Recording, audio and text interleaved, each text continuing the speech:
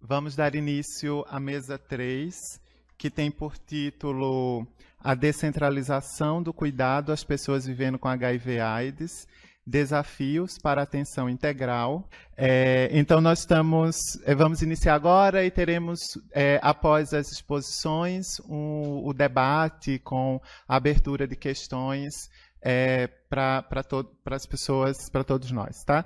Então, vamos começar pelo Rafael, com a apresentação do Rafael Agostini, e de antemão agradecer a, a presença e a participação é, de todos vocês é, que abrilhantam a programação do nosso seminário.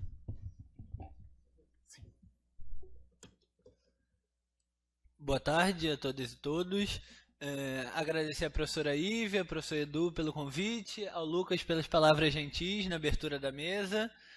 É, bom, é, eu tomei a liberdade de enfiar as potencialidades ali, vocês devem ter visto que no nome da mesa originalmente está os desafios para atenção integral mas como vocês vão perceber ao longo da apresentação, eu sou bastante entusiasta é, da atenção primária e aí tomei a liberdade de discutir não só os desafios, mas também as potencialidades do processo de descentralização.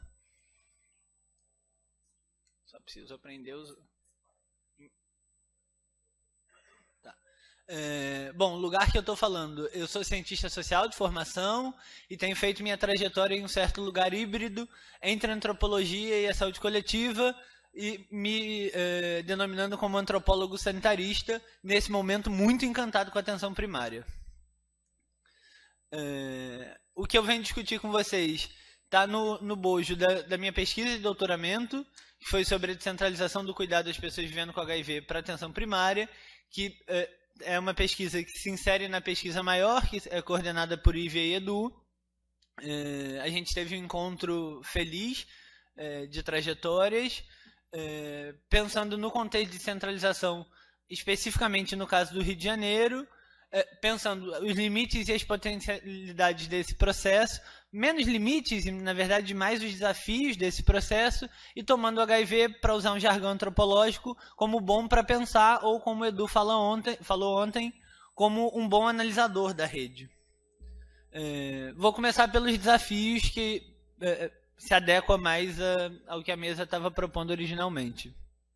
Bom, a questão do sigilo uh, é o primeiro grande ponto. E aí a polissemia vem de que são diversos os dilemas do sigilo. Né? O primeiro deles, o Edu também abordou ontem na fala, que é um pouco das próprias baias, a configuração arquitetônica, enfim, a arquitetura da clínica é, traz questões. Como manter sigilo com baias que são tão próximas, aquele vulco-vulco é, que acontece na clínica todos os dias, pessoas entrando e saindo. Uh, esse é um, um, um, um, grande desafio, assim, como permitir que o usuário relate, no caso dele, dele querer relatar a sua CS e não querer que outra pessoa saiba, como que ele relata uh, o motivo da, da, ida dele à clínica, sem que, além da CS dele, saber que a CS do lado também saiba, que a pessoa que está em atendimento do lado também saiba. Esse foi um, ponto importante é, sobre sigilo e que a gente acha que precisa ser pensado no âmbito da descentralização. O segundo ponto é, é um, a partir da perspectiva dos profissionais que dizem, olha, é, até é verdade que o sigilo é uma questão, boa parte dos usuários preferem fazer o atendimento longe, mas se eles aceitam ficar por aqui e vão ficando com a gente, o vínculo vai sendo construído e com o passar do tempo eles vão ficando mais à vontade para tratar da questão do diagnóstico. Então, uma certa é, uma relação inversamente proporcional entre o tempo que eles estão na atenção primária e a questão do sigilo.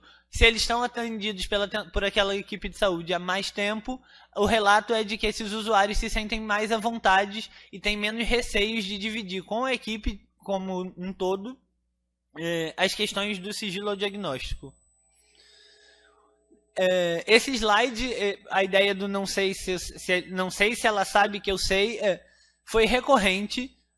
Todas as ACS sabiam do diagnóstico dos usuários. Só que todas elas também se esforçavam para que aqueles usuários que não, so, que não se sentiam à vontade que elas soubessem, não soubessem que elas sabiam. Eu sei que pode ficar parecendo uma grande curva retórica, mas é isso mesmo. Então elas falavam, olha, é, eu sei, mas ela não sabe que eu sei. Eu, eu não sei se ela sabe que eu sei.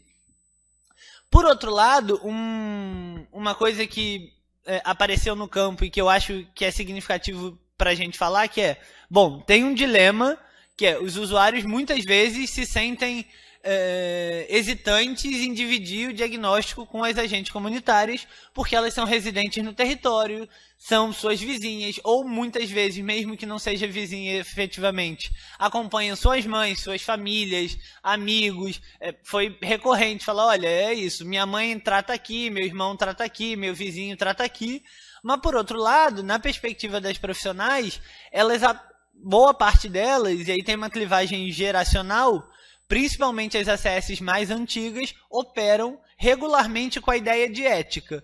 Então ela diz: olha, eu cuido à distância. Eu trato de. É, ele não pode saber que eu sei, então eu cuido à distância porque ele tem direito ao sigilo, porque ele tem direito à privacidade. Esses não, que é, são conceitos que a gente discute na academia regularmente, não, não são estranhos a essas profissionais. Elas operam é, com esses conceitos na sua prática profissional. Inclusive, muitas delas reconhecem e dizem: olha, se fosse comigo, eu talvez também não gostasse de ser atendida na unidade perto da minha residência.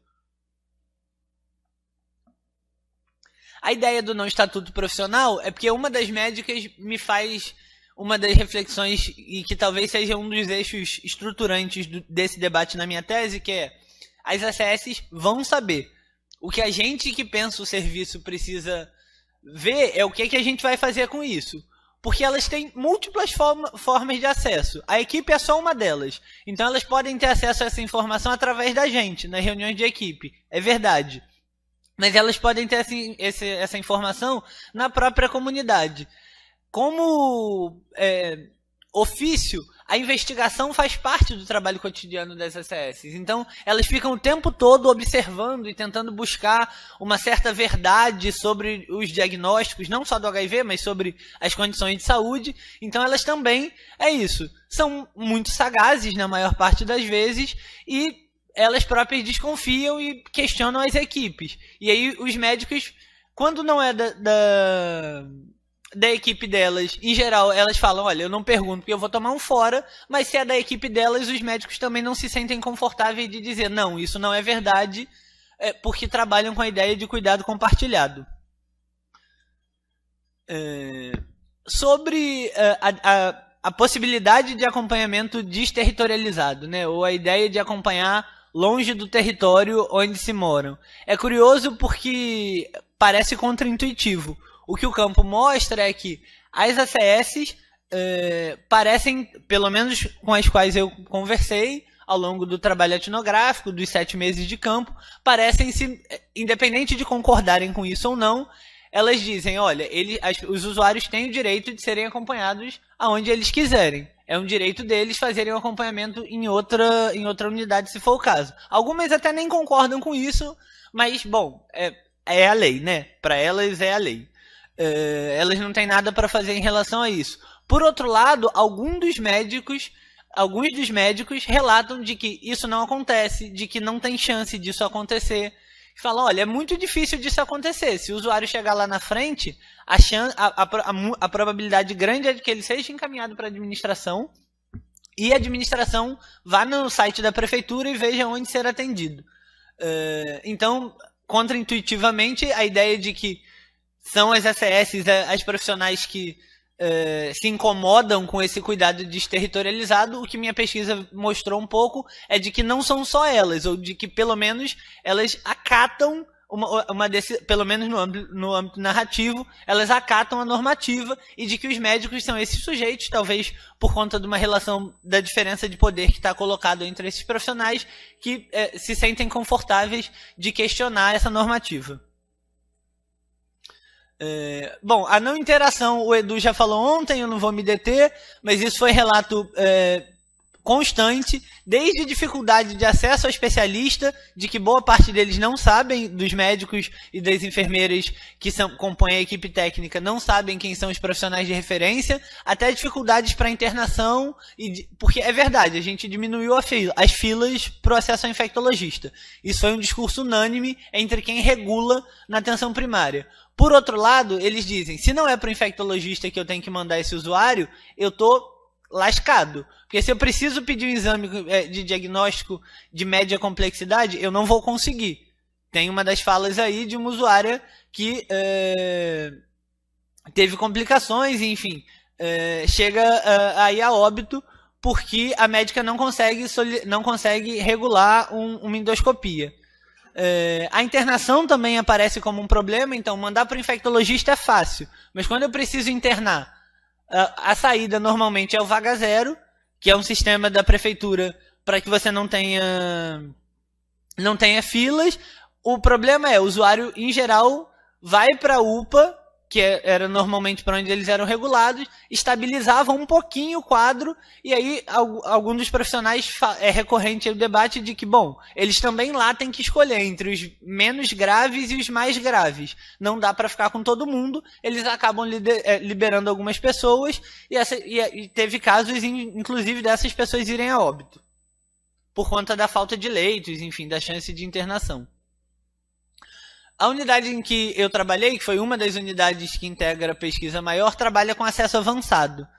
Uh, e aí tem um, um, grande dilema do acesso avançado, que é as pessoas podem ir à unidade sempre que quiserem, quantas vezes acharem que é necessário.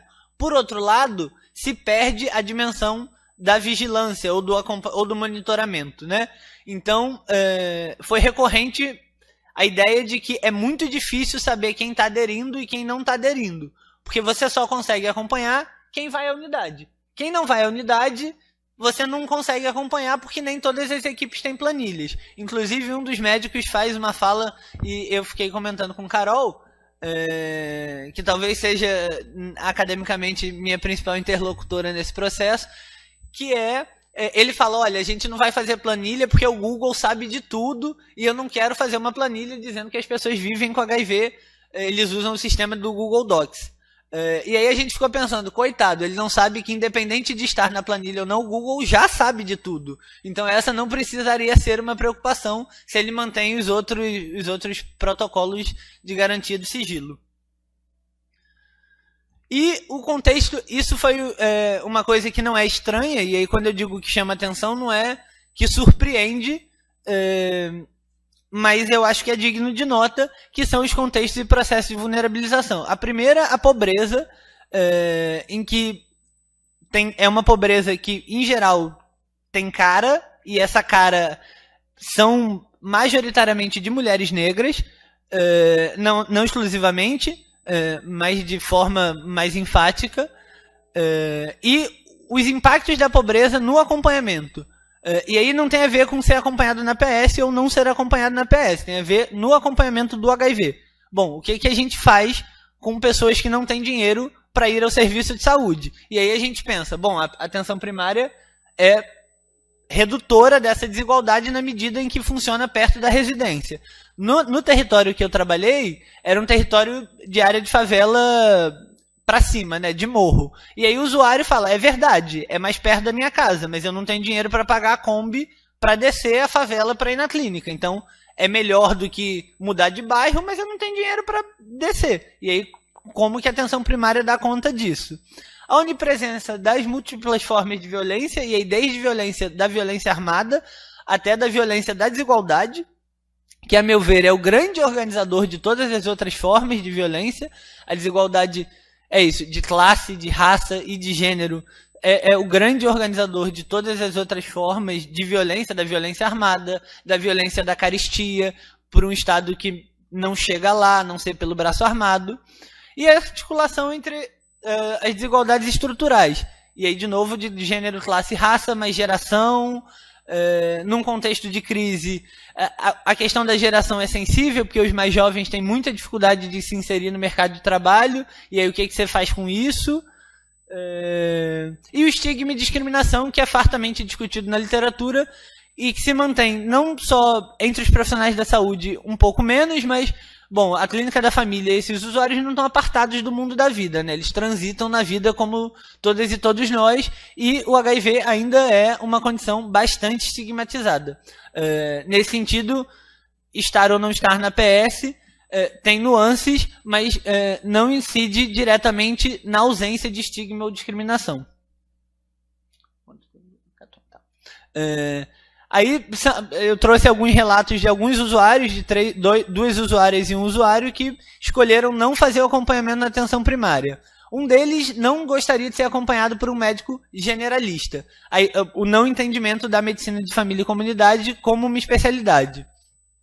É, a segunda usuária relata sobre por conta do acesso avançado, a unidade estava sempre muito cheia o tempo todo. É, foi recorrente, é, ontem a gente, alguém falou, acho não sei se foi o Edu ou o professor Ruben, é, sobre a ideia de UPA da família. Então, essa menção é recorrente. Então, uma das usuárias falou, olha, chego aqui, está sempre muito cheio, é, e parece uma UPA, é, as pessoas, inclusive, procuram, os profissionais relatam casos assim que eu, que não sou profissional da saúde, estrito senso, saberia que não é. Que você precisaria de um serviço de maior complexidade, o sujeito tem qualquer tipo de acidente é, e vai procurar a clínica da família. Tem, o acesso avançado é muito bom por um lado, mas causa tensões significativas por outro.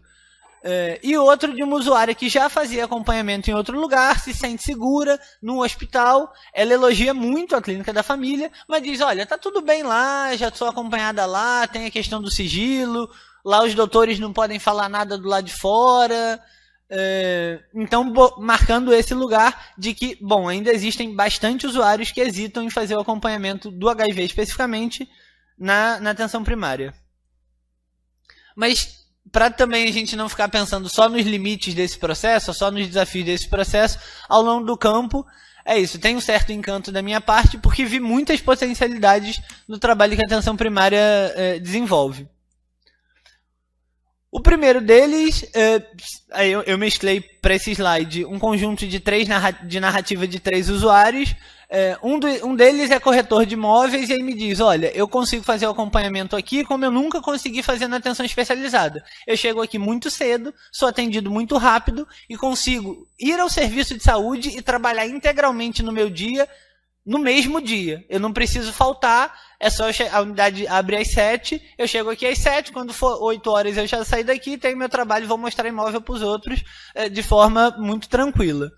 Uh, esse mesmo usuário relata de que a experiência dele foi surpreendente, uh, porque ele diz que a experiência no SUS era um usuário que tem plano de saúde, a experiência que ele tinha do SUS era via uh, mídia, e ele diz, olha, o que a gente vê no jornal é gente morrendo na porta dos hospitais e filas quilométricas. E eu chego aqui, apesar da unidade ser uma caixinha de surpresa, nas palavras dele, nunca demora mais do que uma hora, eu sempre sou atendido. Essa ideia de que está mais perto do território onde as pessoas vivem, é, moram, trabalham, enfim, é, diminui ou pelo menos atenuam as vulnerabilidades econômicas, já que elas conseguem acessar o serviço é, com menos gasto de passagem, ou em alguns casos com nenhum gasto de passagem, a, a possibilidade de produção de vínculos e arranjos locais e essa última fala é, de um usuário de caramba é um, caramba um espetáculo foi inserida um pouco por conta da provocação do professor Ruben ontem de que as práticas têm que ser tão boas é, de que os usuários não se sintam é, desejosos de ter um plano de saúde. É, isso explica um pouco do meu encanto com a atenção primária. Eu ouvi isso da boca de um usuário. E aí ele falando: olha, ele é meu médico particular. Não preciso de mais nada além dele, além dele e da equipe, do atendimento na unidade. Para Unimed, para quê? Não é dele, é, é uma, é uma reflexão para pensar: é possível produzir práticas de saúde que desestimulem o sujeito a sentirem carência de atenção na atenção à saúde e desejarem é, a saúde suplementar. O caso de uma usuária é, de uma pessoa em situação de rua que eu acompanhei na unidade e que me relata não só boas experiências na unidade em que ela está no momento, que foi a unidade que eu acompanhei, mas me relata boas experiências com outras estratégias de saúde da família, onde ela passou, foi expulsa desses territórios anteriores pelo tráfico, mas diz que ama a médica, que sente muita saudade, que gostaria muito de voltar para o território e que não pode por conta do tráfico.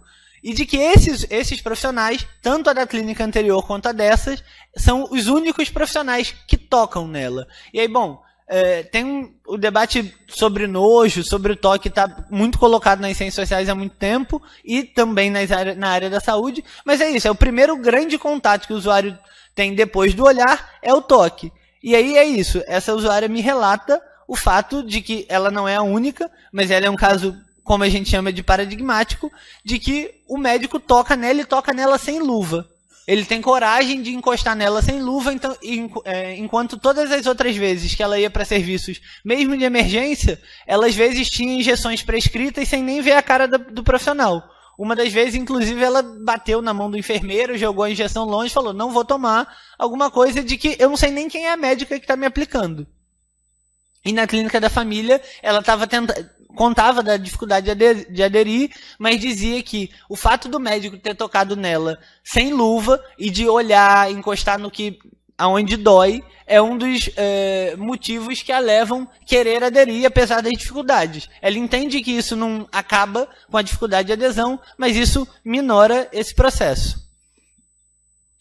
É, uma outra é, coisa que me chamou muita atenção é de que parece ter um compromisso ético-político dos médicos de família, e aí dos médicos de família, é, especificamente daqueles que são especialistas em medicina de família e comunidade, em dar conta.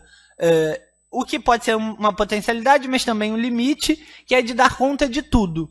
É, eles, inclusive, relatam, alguns deles, relatam a dificuldade de encaminhar esse usuário para os serviços especializados, porque dizem, bom, mas fui eu que segurei na mão, eu que dei o diagnóstico, eu que estava lá do lado quando chorou, é, é, encaminhar isso para o especialista, e aí eu vou estudar. No caso da, da primeira fala, é isso, é usuário, ele diz, olha, o usuário não vinculou a nenhum dos serviços, vinculou comigo, só que ele tinha uma série de comorbidades, e aí o que eu fiz foi estudar essas coisas e fiquei muito tempo estudando para dar conta de, de, de atender esse usuário sem precisar referenciar ele para um serviço que eu sei que ele não iria. Sei também que essas potencialidades que estou falando, sei tem é, diversas pessoas aqui que estão nos serviços, estão nas pontas e podem pensar, bom, é, mas onde será essa clínica que esse sujeito está falando que fez trabalho e que na minha clínica não é assim?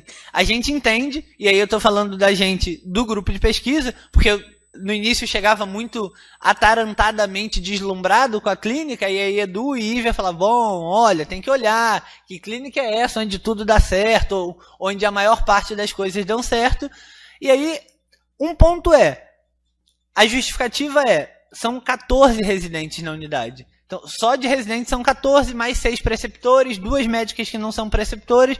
Então, a residência organiza um fluxo de trabalho onde fica mais leve para todo mundo e há mais tempo de se doar para atenção à saúde mesmo. E, por outro lado, isso mostra para a gente a fala de um dos usuários que fica ecoando na minha cabeça todo o tempo, que é, se é possível que ali aconteça dessa forma, que apesar dos limites é satisfatória para a gente, é possível que aconteça em qualquer lugar. A gente precisa ver por que, que é possível que aconteça ali e por que, que não é possível que aconteça em todo lugar. Acho que a grande resposta para isso é investimento, de todas as ordens. Financeiro, sobretudo, mas de formação, é, de maior, número de profissionais para reduzir. É, toda hora que o Lucas vira a página, eu fico morrendo de medo dele me cutucar e falar, acabou. É, isso para dizer que eu entendo que a clínica na qual eu fiz a minha etnografia é uma clínica diferente mas ela pode ser a métrica. Tenho muita convicção disso, de que se funciona lá, pode funcionar em outros lugares se a gente tiver as mesmas condições estruturais, a mesma quantidade de profissionais, a mesma é, valorização é, do processo de trabalho. Aí, um pouco para apresentar rapidamente olhando o tempo ali, é, muito rapidamente esse lugar da contradição da potência do trabalho das agentes comunitárias. Bom, eu vim das ciências sociais e tinha bem pouca experiência com, com essas profissionais até começar a fazer o doutoramento. E aí descobri que ali está, talvez, é, o nosso flanco de resistência é, contra os processos de desmonte da tensão. É fácil? Não, não é fácil. É, mas essas profissionais desempenham um papel inédito, inclusive no cenário internacional. Assim, a gente tem pouquíssimas experiências é, que eu diria que são potentes, como o trabalho dessas agentes, que são em geral mães, mulheres negras, de meia idade, na clínica em que eu fiz o trabalho de campo, e que dão conta de tocar o sistema de saúde apesar das debilidades. É verdade, Ívia falou antes da, antes da gente parar para o almoço, tem uma certa. O processo eleitoral para mim foi muito difícil, assim, de, de continuar dentro, dentro, do, dentro da lógica. Eu estava saindo já de campo e aí descobri, assim, se isso é uma coisa que a gente descobre, que a minha interlocutora privilegiada era bolsonarista. E aí você fala, nossa, mas essa agente comunitária de saúde, que é a mina que se desdobra e que visita o usuário no domingo de noite depois do culto, porque ele não vai à unidade, é bolsonarista, que grande contradição. E pensar, olha, como diz o professor Eduardo, as pessoas são muitas coisas, elas não são uma coisa só. E acredito firmemente de que é, adesão ao bolsonarismo ou adesão à crítica dessas parcelas de profissionais ao, ao bolsonarismo tem, se não como causa, é, causa única, se não como causa única, como causa central, a possibilidade de dar a elas uma causa que nós, progressistas, não conseguimos dar. Então essa responsabilidade é menos delas e mais nossas de não conseguir incluir e discutir com essas pessoas. A gente ficou discutindo progressismo nas universidades, nos centros de saúde, entre quem está produzindo ciência, tecnologia e inovação, e perdeu a habilidade de discutir com essas mulheres, e usando mulheres, porque 48 das 46 das 48 ACS da minha unidade eram mulheres, a gente perdeu a possibilidade de discutir com essas profissionais um projeto coletivo, um projeto solidário e um outro, um outro projeto nacional de desenvolvimento. Uh, isso são dados, é, vou passar rapidamente, o Lucas já me avisou são cinco minutos, sobre o contexto da necropolítica neoliberal, no caso do Rio de Janeiro, em que a gente encontra no campo um relato de que, bom, tem uma certa contradição à brasileira. Foi no governo Eduardo Paes, que está longe de ser um progressista de esquerda, que se valoriza o SUS e se cria a ideia de soldadinhos do SUS. Esse é um termo êmico. Eles, o, os profissionais, essa fala é majoritariamente de médicos e enfermeiros, mas dizem, olha, é naquele governo que a gente cria a ideia de soldadinho do SUS, de valorização do público e de uma expansão que ao mesmo tempo privatiza. É, é contraditório, mas a vida é contraditória, não é nada muito simples não.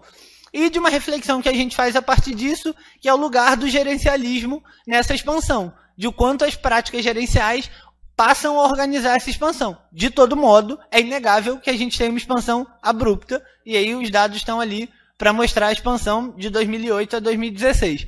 Vocês devem me perguntar por que, eu não botei depois de 2017, acho que a resposta está no mundo da vida e na tesoura que fica na mão do prefeito.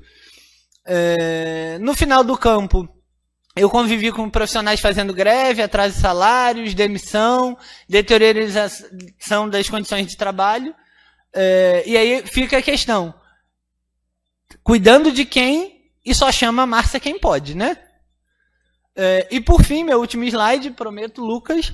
É, a gente tem, no caso do HIV, a gente recupera o pânico moral que organiza o início da epidemia na área de gênero e sexualidade, das estratégias de prevenção, mas também de uma austeridade que nem os tucanos foram é, corajosos o suficiente para fazer. Tem alguns estudos mais recentes mostrando o quanto a austeridade mata e o quanto os cortes matam.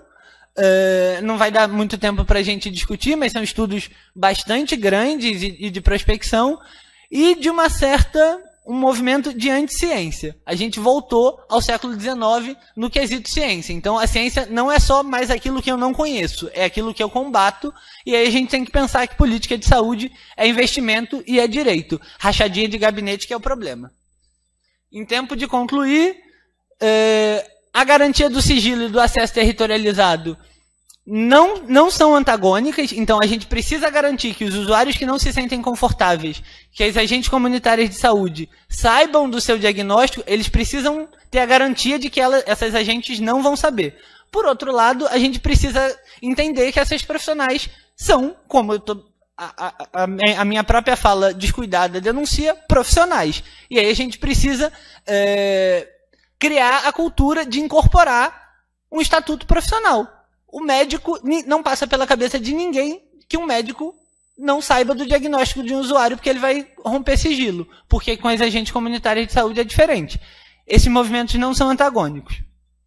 A necessidade de superar as descontinuidades da assistência uh, em todos os níveis, desde para atenção secundária, mas também para atenção terciária, e dialogar, dialogar, dialogar. Inclusive, e sobretudo nesse caso, para concluir, com as agentes comunitárias de saúde, que são quem estão tocando a política de frente, na rua, todos os dias.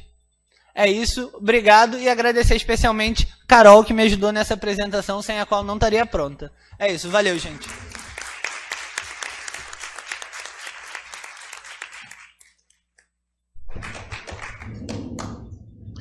Obrigado, Rafael, pela excelente exposição. É, agora passo a palavra para o Gustavo. É, boa tarde. É, queria começar agradecendo o convite né, da Ívia, do Eduardo, para compor esse, esse debate. É, tem sido muito, acho que, reenergizante também poder estar aqui, né? Às vezes a gente fica um pouco desconectado e se, vai se reconectando nesses espaços, né? E vendo o quanto faz sentido, né? Produzir o que a gente está produzindo, né? É uma reafirmação que a gente tem que fazer continuamente na universidade hoje, né? Não é mais óbvio como sei lá, não sei se um dia foi, mas parecia que era. Agora a gente tem que continuamente reafirmar isso em todos os lugares que a gente, que a gente vai, né? De ter essa possibilidade de fazer essas trocas. Então, agradecer por esse convite. Ah, só ele vai colocar a apresentação.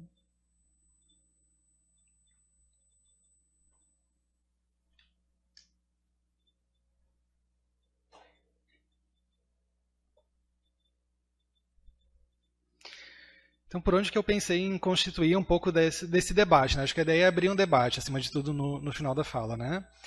É, a partir dessa, dessa questão aqui, são três pontos por onde eu vou passar hoje na apresentação. Né? Primeiro, a gente pensar por que descentralizar a atenção em HIV/AIDS, porque às vezes parece que a gente esquece um pouco disso, a gente entra no processo e vai investigando, tá, mas por que, que mesmo a gente entrou nessa, em que momento, em que lugar do Brasil? Né?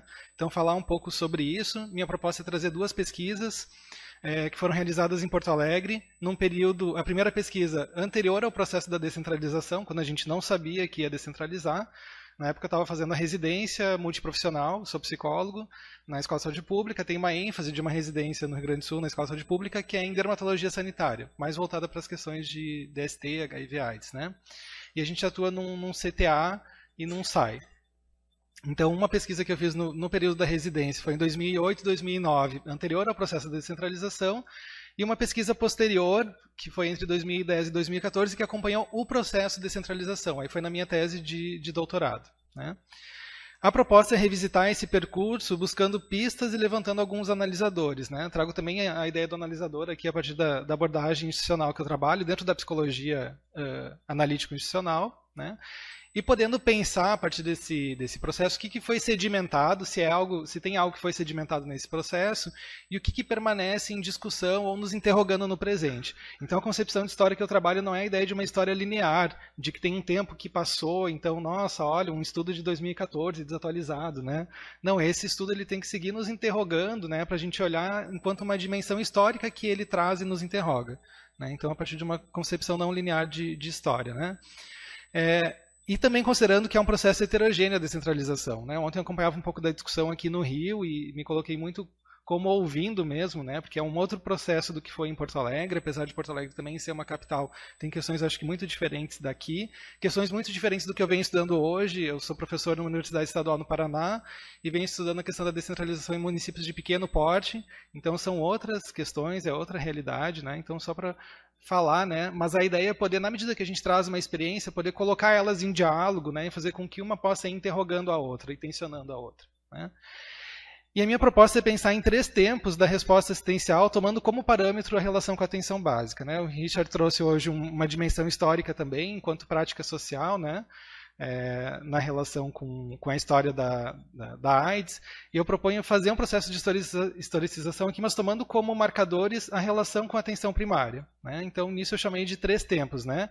Um primeiro tempo anterior à descentralização, um segundo tempo, que é o tempo da descentralização, e um terceiro tempo, que a gente estaria entrando agora, onde eu vou interrogar se a gente já pode tomar esse processo como dado, descentralizado, e que questões se colocariam hoje. Né? Faço uma pequena objeção a, uma, a um aparente anacronismo, né? porque quando as pessoas começaram a criar CTA, SAI, elas não diziam estamos criando um, um sistema centralizado. Né? Então é um olhar nosso agora para o passado de chamar isso de sistema centralizado. Né? Faço esse pequeno porém. Né? É, eu vou trazer depois algumas sínteses do, das pesquisas que, que, eu, que eu fiz, mas eu não queria uh, perder a dimensão de que a gente está falando de pessoas. E por isso eu trago aqui um caso disparador. É um caso, mas poderia ser qualquer outro. Esse serviço onde eu fiz a residência, quando a gente lê nos, no, nos manuais da, Ministério da Saúde, que o primeiro CTA foi criado em 88 em Porto Alegre, é nesse CTA, é o CTA do Ambulatório de Dermatologia Sanitária. Né? Então, um local que tem uma história muito grande dentro dessas políticas uh, para pensar né, a questão do, do modelo CTA depois dentro do, do SUS. Né? Então, em 2008, eu estava fazendo o acompanhamento, na verdade, estava no corredor e uma colega assistente social uh, disse, ah, Gustavo, deixa eu, eu te, te te colocar em contato com o usuário, está com muitas questões aqui, dá uma conversada com ele. E aí era um homem na faixa dos 40 anos, ele residia numa cidade da região metropolitana de Porto Alegre. Esse serviço, Porto Alegre tem, tem dois serviços, pelo menos CTA SAIS, que são estaduais, não são municipais, então atendem potencialmente o estado todo, né? esse era um deles. É, e ele teve o diagnóstico na faixa dos anos 90 e ele, desde então, realiza o tratamento nesse serviço. Né? Uh, e ele traz uma demanda relacionada a ele ter ido numa unidade de saúde da família do território dele, ele fazia o tratamento odontológico lá, mas sem revelar o diagnóstico para o dentista.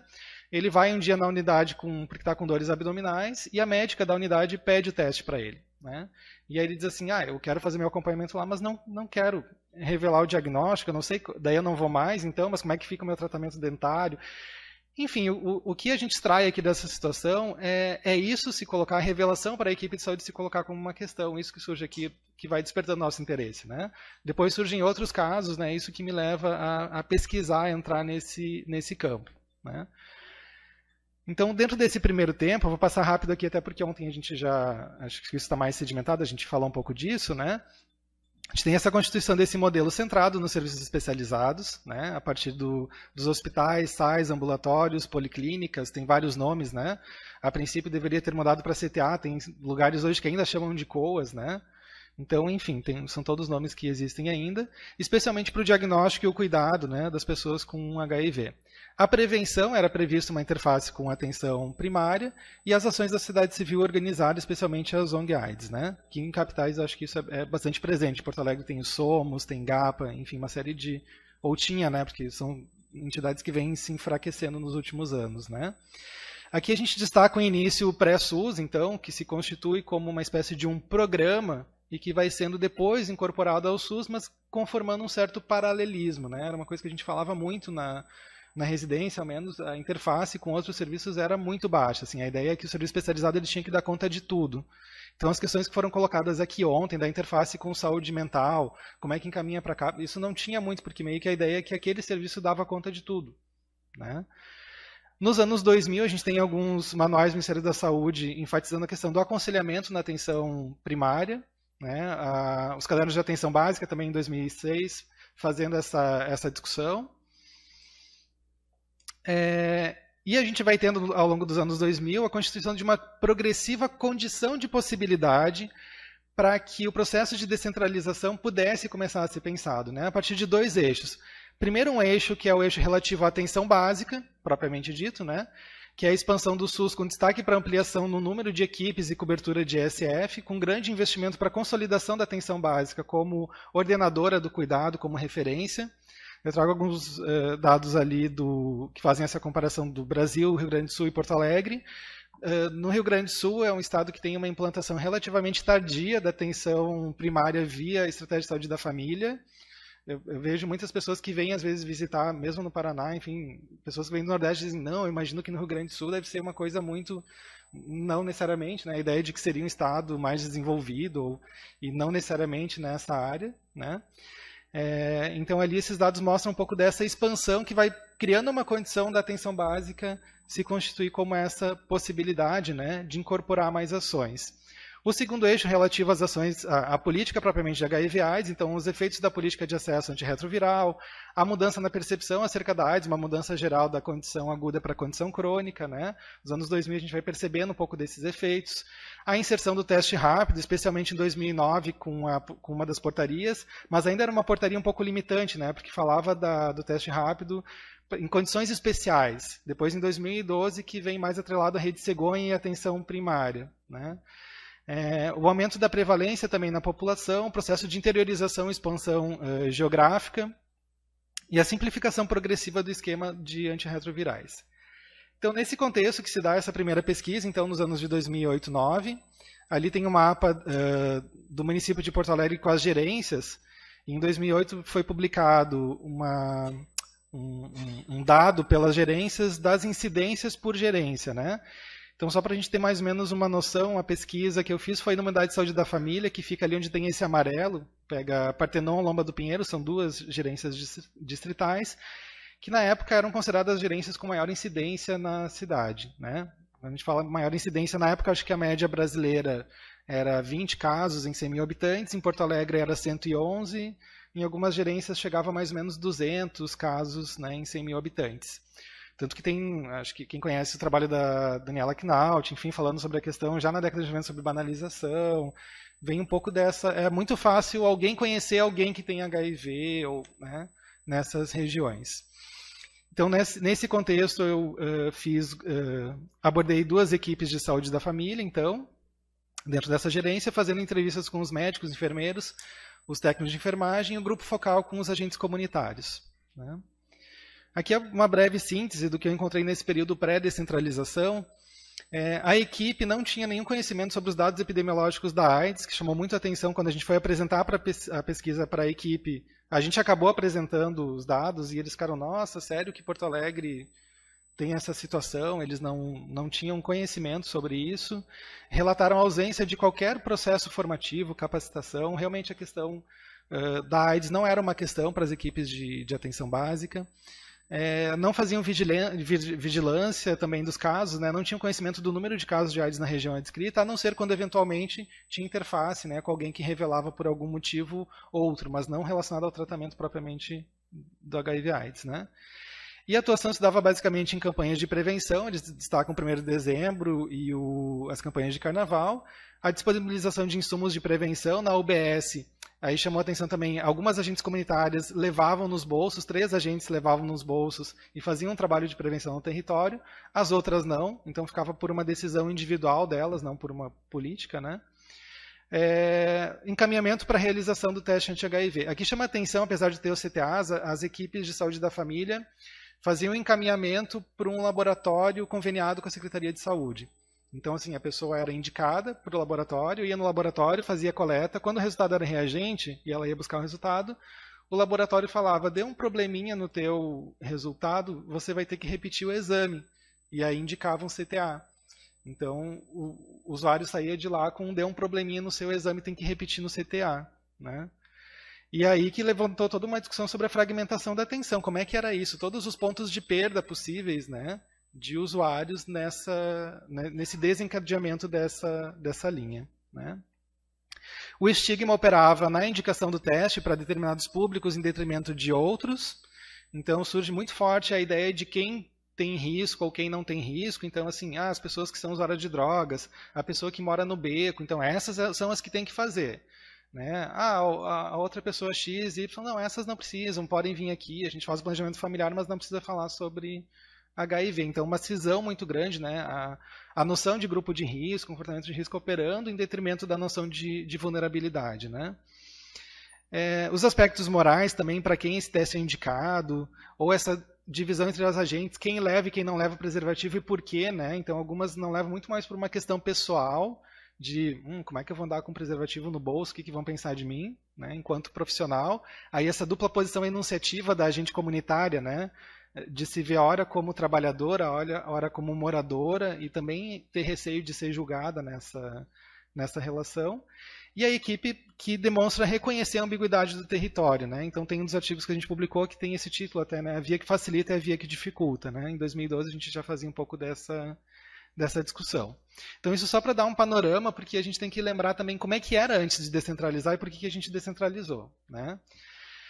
Entrando nesse segundo tempo da descentralização, então eu proponho, quando eu entro no doutorado, proponho, na verdade, alargar um pouco a pesquisa que eu tinha feito no trabalho da residência, e nesse período, em 2011, tem o, o, o projeto de descentralização que se constitui, né, e que é, uh, começa, na verdade, a ser desdobrado em 2012. Que, que naquela época se colocava em Porto Alegre para... A que, responde a descentralização naquele momento, né? Uh, dentro da gestão circula a ideia de um, alerta, de um alerta epidemiológico, então começa a virar notícia de novo, né? O, o que, que, é isso, esse estado, esse município que tem uma incidência tão alta? Por que ser a capital com maior incidência do Brasil? Por que ser o estado com maior incidência? O acúmulo uh, desse, desse posto né, para a cidade para o estado gera um certo incômodo né, e, e, uma certa mobilização.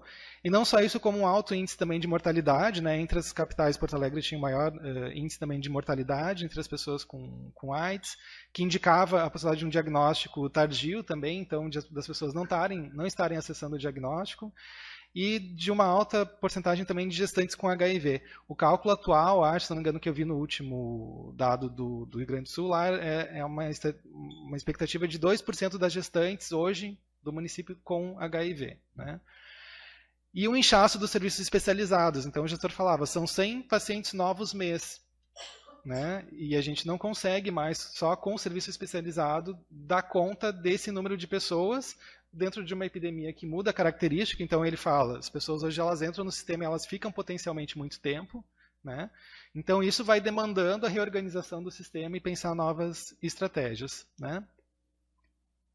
Ali só o diálogo com o nível estadual e municipal.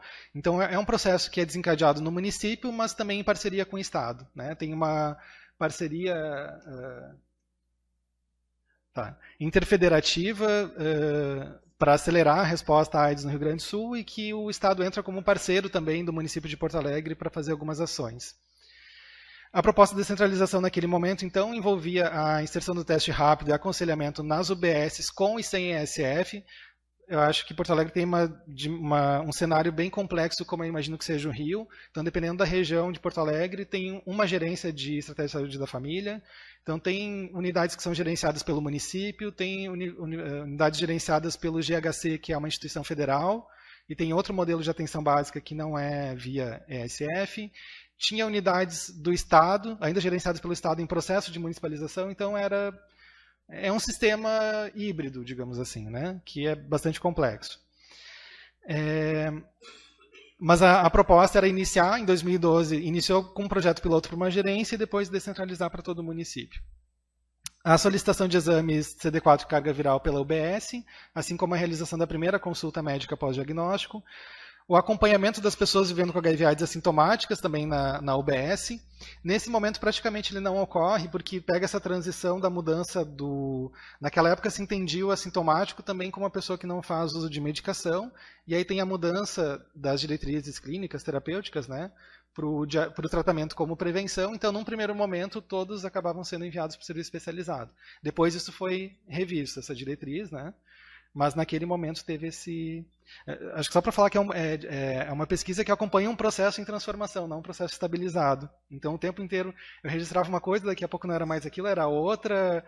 E até escrita é uma, é uma coisa complicada a gente descrever algo que está em processo de transformação, né? não era um processo estabilizado. Mas é justamente um momento rico porque é o momento que a gente vê a disputa, né? Quando eu falo ali de um processo histórico, ele é político e social, porque a gente observa todas as disputas ali de concepção, né? Vai para o serviço especializado, fica na atenção primária. Isso que é interessante de analisar o processo em transformação, né? E atribuição também da, da função de matriciamento aos serviços especializados, os SAIs e os CTAs, tanto os municipais quanto os do Estado. Então, no primeiro momento, eles assumem essa responsabilidade de fazer as capacitações iniciais para as equipes e fazer o acompanhamento do processo. Algumas equipes até falam, né? Aconteceu porque assim, ah, a gente foi capacitado, mas daí a gente estava meio assim, é, um dia a gente começa. Aí de repente veio a psicóloga do CTA e disse, vamos fazer. Aí ela sentou junto, a gente fez o primeiro, fez o segundo dia. Bom, daí a gente viu que era tinha como fazer. O, o matriciamento foi bem importante nesse fazer junto, né? Então, nesse momento se passa essa pesquisa que buscou acompanhar é, esse processo piloto de descentralização. E eu tinha um foco também aqui na análise dos processos de expressão do estigma e na relação com o território. Né? É, o desafio, então, era fazer esse acompanhamento e análise desse processo que estava acontecendo, né? não era um processo estabilizado, e a proposta era fazer o um mapeamento dos movimentos de convergência ou divergência entre as diretrizes políticas com a perspectiva dos trabalhadores e a perspectiva dos usuários. Então a gente entende aqui que não é mecânico a implantação de uma política. Toda política, na verdade, ela depende de uma operação subjetiva, né? Como é que eu incorporo enquanto trabalhador, enquanto gestor? Até tem uma fala que surge na pesquisa que é assim: a, a gestão diz, vamos fazer. Aí a gerência diz, vamos fazer, mas vamos planejar. E o trabalhador diz, vamos fazer, vamos planejar e vamos com calma. Tipo, né? Assim, isso que é essa operação subjetiva, né? É como é que a gente vai recebendo essas diretrizes e vai transformando elas e transforma a tal ponto, né? Por isso que eu falo é ciência e arte, porque as equipes incorporam de modos muito diferentes. Né? Tanto que eu acompanhei uma equipe que teve aderência ao processo, mas teve equipes que não tiveram aderência ao processo também, onde praticamente não aconteceu a, a descentralização. Né? E a política pública, que é entendida como um modo também de gestão de vida e de corpos, que pode tanto ampliar quanto restringir possibilidades dos sujeitos. Então, é, é acho que coloca uma posição para nós, que é, enquanto militante também, fazer uma afirmação da política pública enquanto garantia de direitos, e ao mesmo tempo problematizar a política pública no que ela tem de gerência dos corpos, né? ou subjugar os corpos a uma determinada diretriz. É um exercício complexo, né? de afirmar e ao mesmo tempo problematizar. Às vezes a gente problematiza as pessoas dizendo, ah, então tu está dizendo que não é para fazer. Não, não estou dizendo que não é para fazer. Estou dizendo que a gente tem que pensar sobre os efeitos disso que a gente faz. Né? Então eu acompanhei três equipes de SF que atuavam numa UBS, dentro dessa gerência com maior incidência de, de HIV no município. Acompanhei sessões de aconselhamento. Nessa unidade, eles, uh, eles organizaram um turno da semana onde eles faziam um, o aconselhamento coletivo, faziam um agendamento e ali acontecia o processo de testagem. E faziam ao longo da semana também, eventualmente, algumas outras situações. Entrevistei também usuários que participavam desse aconselhamento. Eu convidei 31 pessoas, 19 uh, participaram. E dois usuários que foram diagnosticados na UBS. Quando eu fiz a coleta, fazia mais ou menos um ano já do que tinha iniciado a, a descentralização. Nessa unidade, eles tinham feito 13 diagnósticos. O que chama atenção aqui é que quando a, a enfermeira foi fazer o contato para localizar esses, essas pessoas, né, das 13 pessoas diagnosticadas, ela só localizou três. As outras 10 pessoas ela não localizou o telefone, não não tinha mais o contato, a pessoa, a gente comentaria na casa, a pessoa tinha se mudado, enfim, né? Que acabou sendo um analisador também desse, desse processo. A gente tem a expectativa da atenção básica territorializada e que as pessoas todas moram ali, são fixas no território, e aí o que nesse território se mostrou é que não, as pessoas se mudam, as pessoas mudam o telefone o tempo inteiro, as pessoas se mudam de território com muita frequência por várias disputas, também é uma região vulnerável de morro, né? Então, aí a gente vai com a ideia da fixação, né, da territorialização, e a gente vê, opa, não, nem sempre é tão fácil esse processo. Né? E também com o profissional de matriciamento. Das potencialidades e desafios, vou passar um pouco rápido, mas a sensibilização em relação aos dados epidemiológicos dessa equipe, diferente da primeira pesquisa aqui, todos estavam sensibilizados em relação àquela situação. É, a equipe atuava sobre os princípios da atenção básica e estratégia de saúde da família, então não, eles não receberam como uma diretriz verticalizada, a gestão está mandando a gente fazer. Eles disseram, não, tem todo sentido a gente fazer. A gente tem alto índice de tuberculose na região, a gente já está pensando a descentralização da, da, das questões da tuberculose, tem todo sentido a gente inserir aqui também essa abordagem uh, da AIDS. Né? Uh, a integração entre aconselhamento e o teste, então, para não ter mais aquela ruptura que existia antes, como um ponto positivo, a participação da comunidade. As capacitações também foram feitas para os conselheiros locais de saúde e para o movimento social, para fazer o apoio no processo da descentralização. e a capacitação, o processo de capacitação e matriciamento, né, que auxiliaram nesse processo de mobilização subjetiva, né, para desencadear o processo. Como desafio aqui a confiabilidade no teste rápido, principalmente dos médicos, eles não acreditavam que o, que o teste rápido pudesse diagnosticar, a ideia mais do teste rápido era como triagem. Uh, no município onde eu atuo, eu tenho observado isso hoje também. Muitos profissionais, principalmente enfermeiros, dão diagnósticos em, olha, pode ser um falso positivo, então eu vou te encaminhar para fazer o teste laboratorial. Tem me chamado a atenção isso, né, em práticas que a gente tem conjuntas, né, Uh, a gente fez uma formação há pouco tempo, até colocou em discussões por que, que ele não é um teste diagnóstico, não está assim, o que está acontecendo que. Como é que é para o usuário receber isso como, ó, talvez possa ser. Parece que dá uma esperança para ele, ó, vai fazer laboratorial que ainda pode dar. Hã? Uma falsa esperança, ainda pode dar um negativo. Aí eles falaram que um dia deu, então em função disso eles né? Enfim, o aconselhamento, comunicação diagnóstico pela equipe da SF, como dificuldade também. O processo de, de, tecnicização e redução do aconselhamento, como uma preocupação principalmente do matriciamento, que eles foram vendo que esse processo, o aconselhamento, enfim, essa prática foi se perdendo né, ao longo do tempo. Ficou muito mais a ideia do teste como prevenção. A percepção da sobrecarga de trabalho, que ao longo do processo se diluiu. Depois de um ano que eles começaram a descentralização, eles falavam: nossa, parecia que ia ser muito pesado, hoje está totalmente inserido na unidade. Né? É, a questão da, das equipes incompletas e da rotatividade, que pelo que eu entendi é um problema aqui também.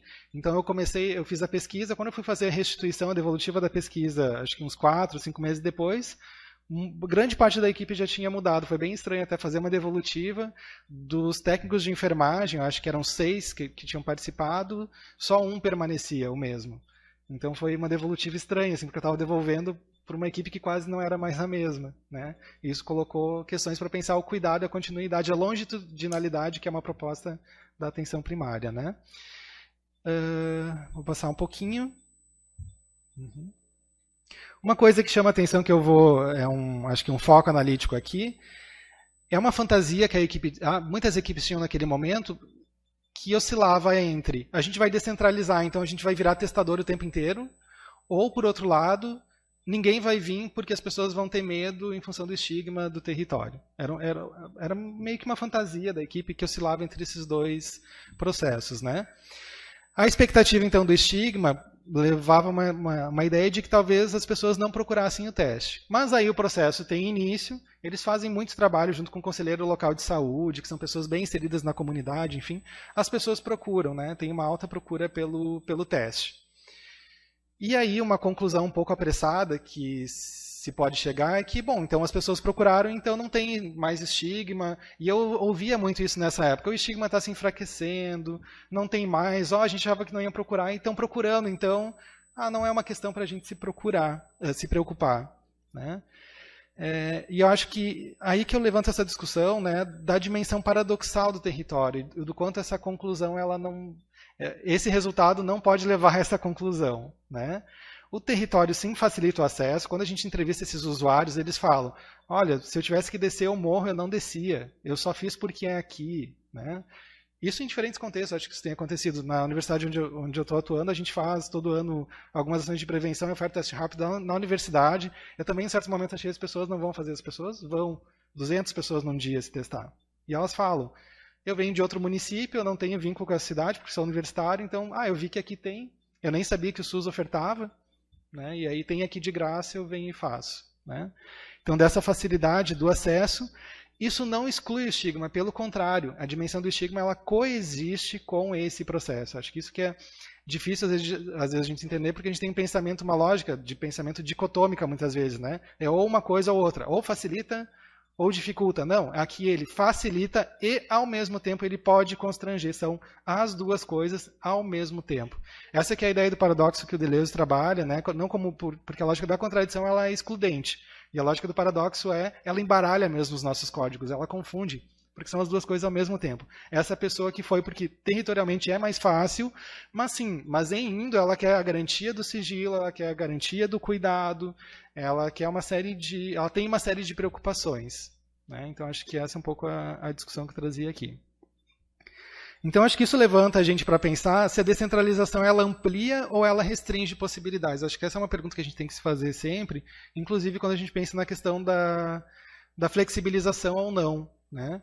Bom, a ideia dela é que ela amplie possibilidades. Só que na medida que eu só coloco ela como única possibilidade também, eu paradoxalmente restringo. Né?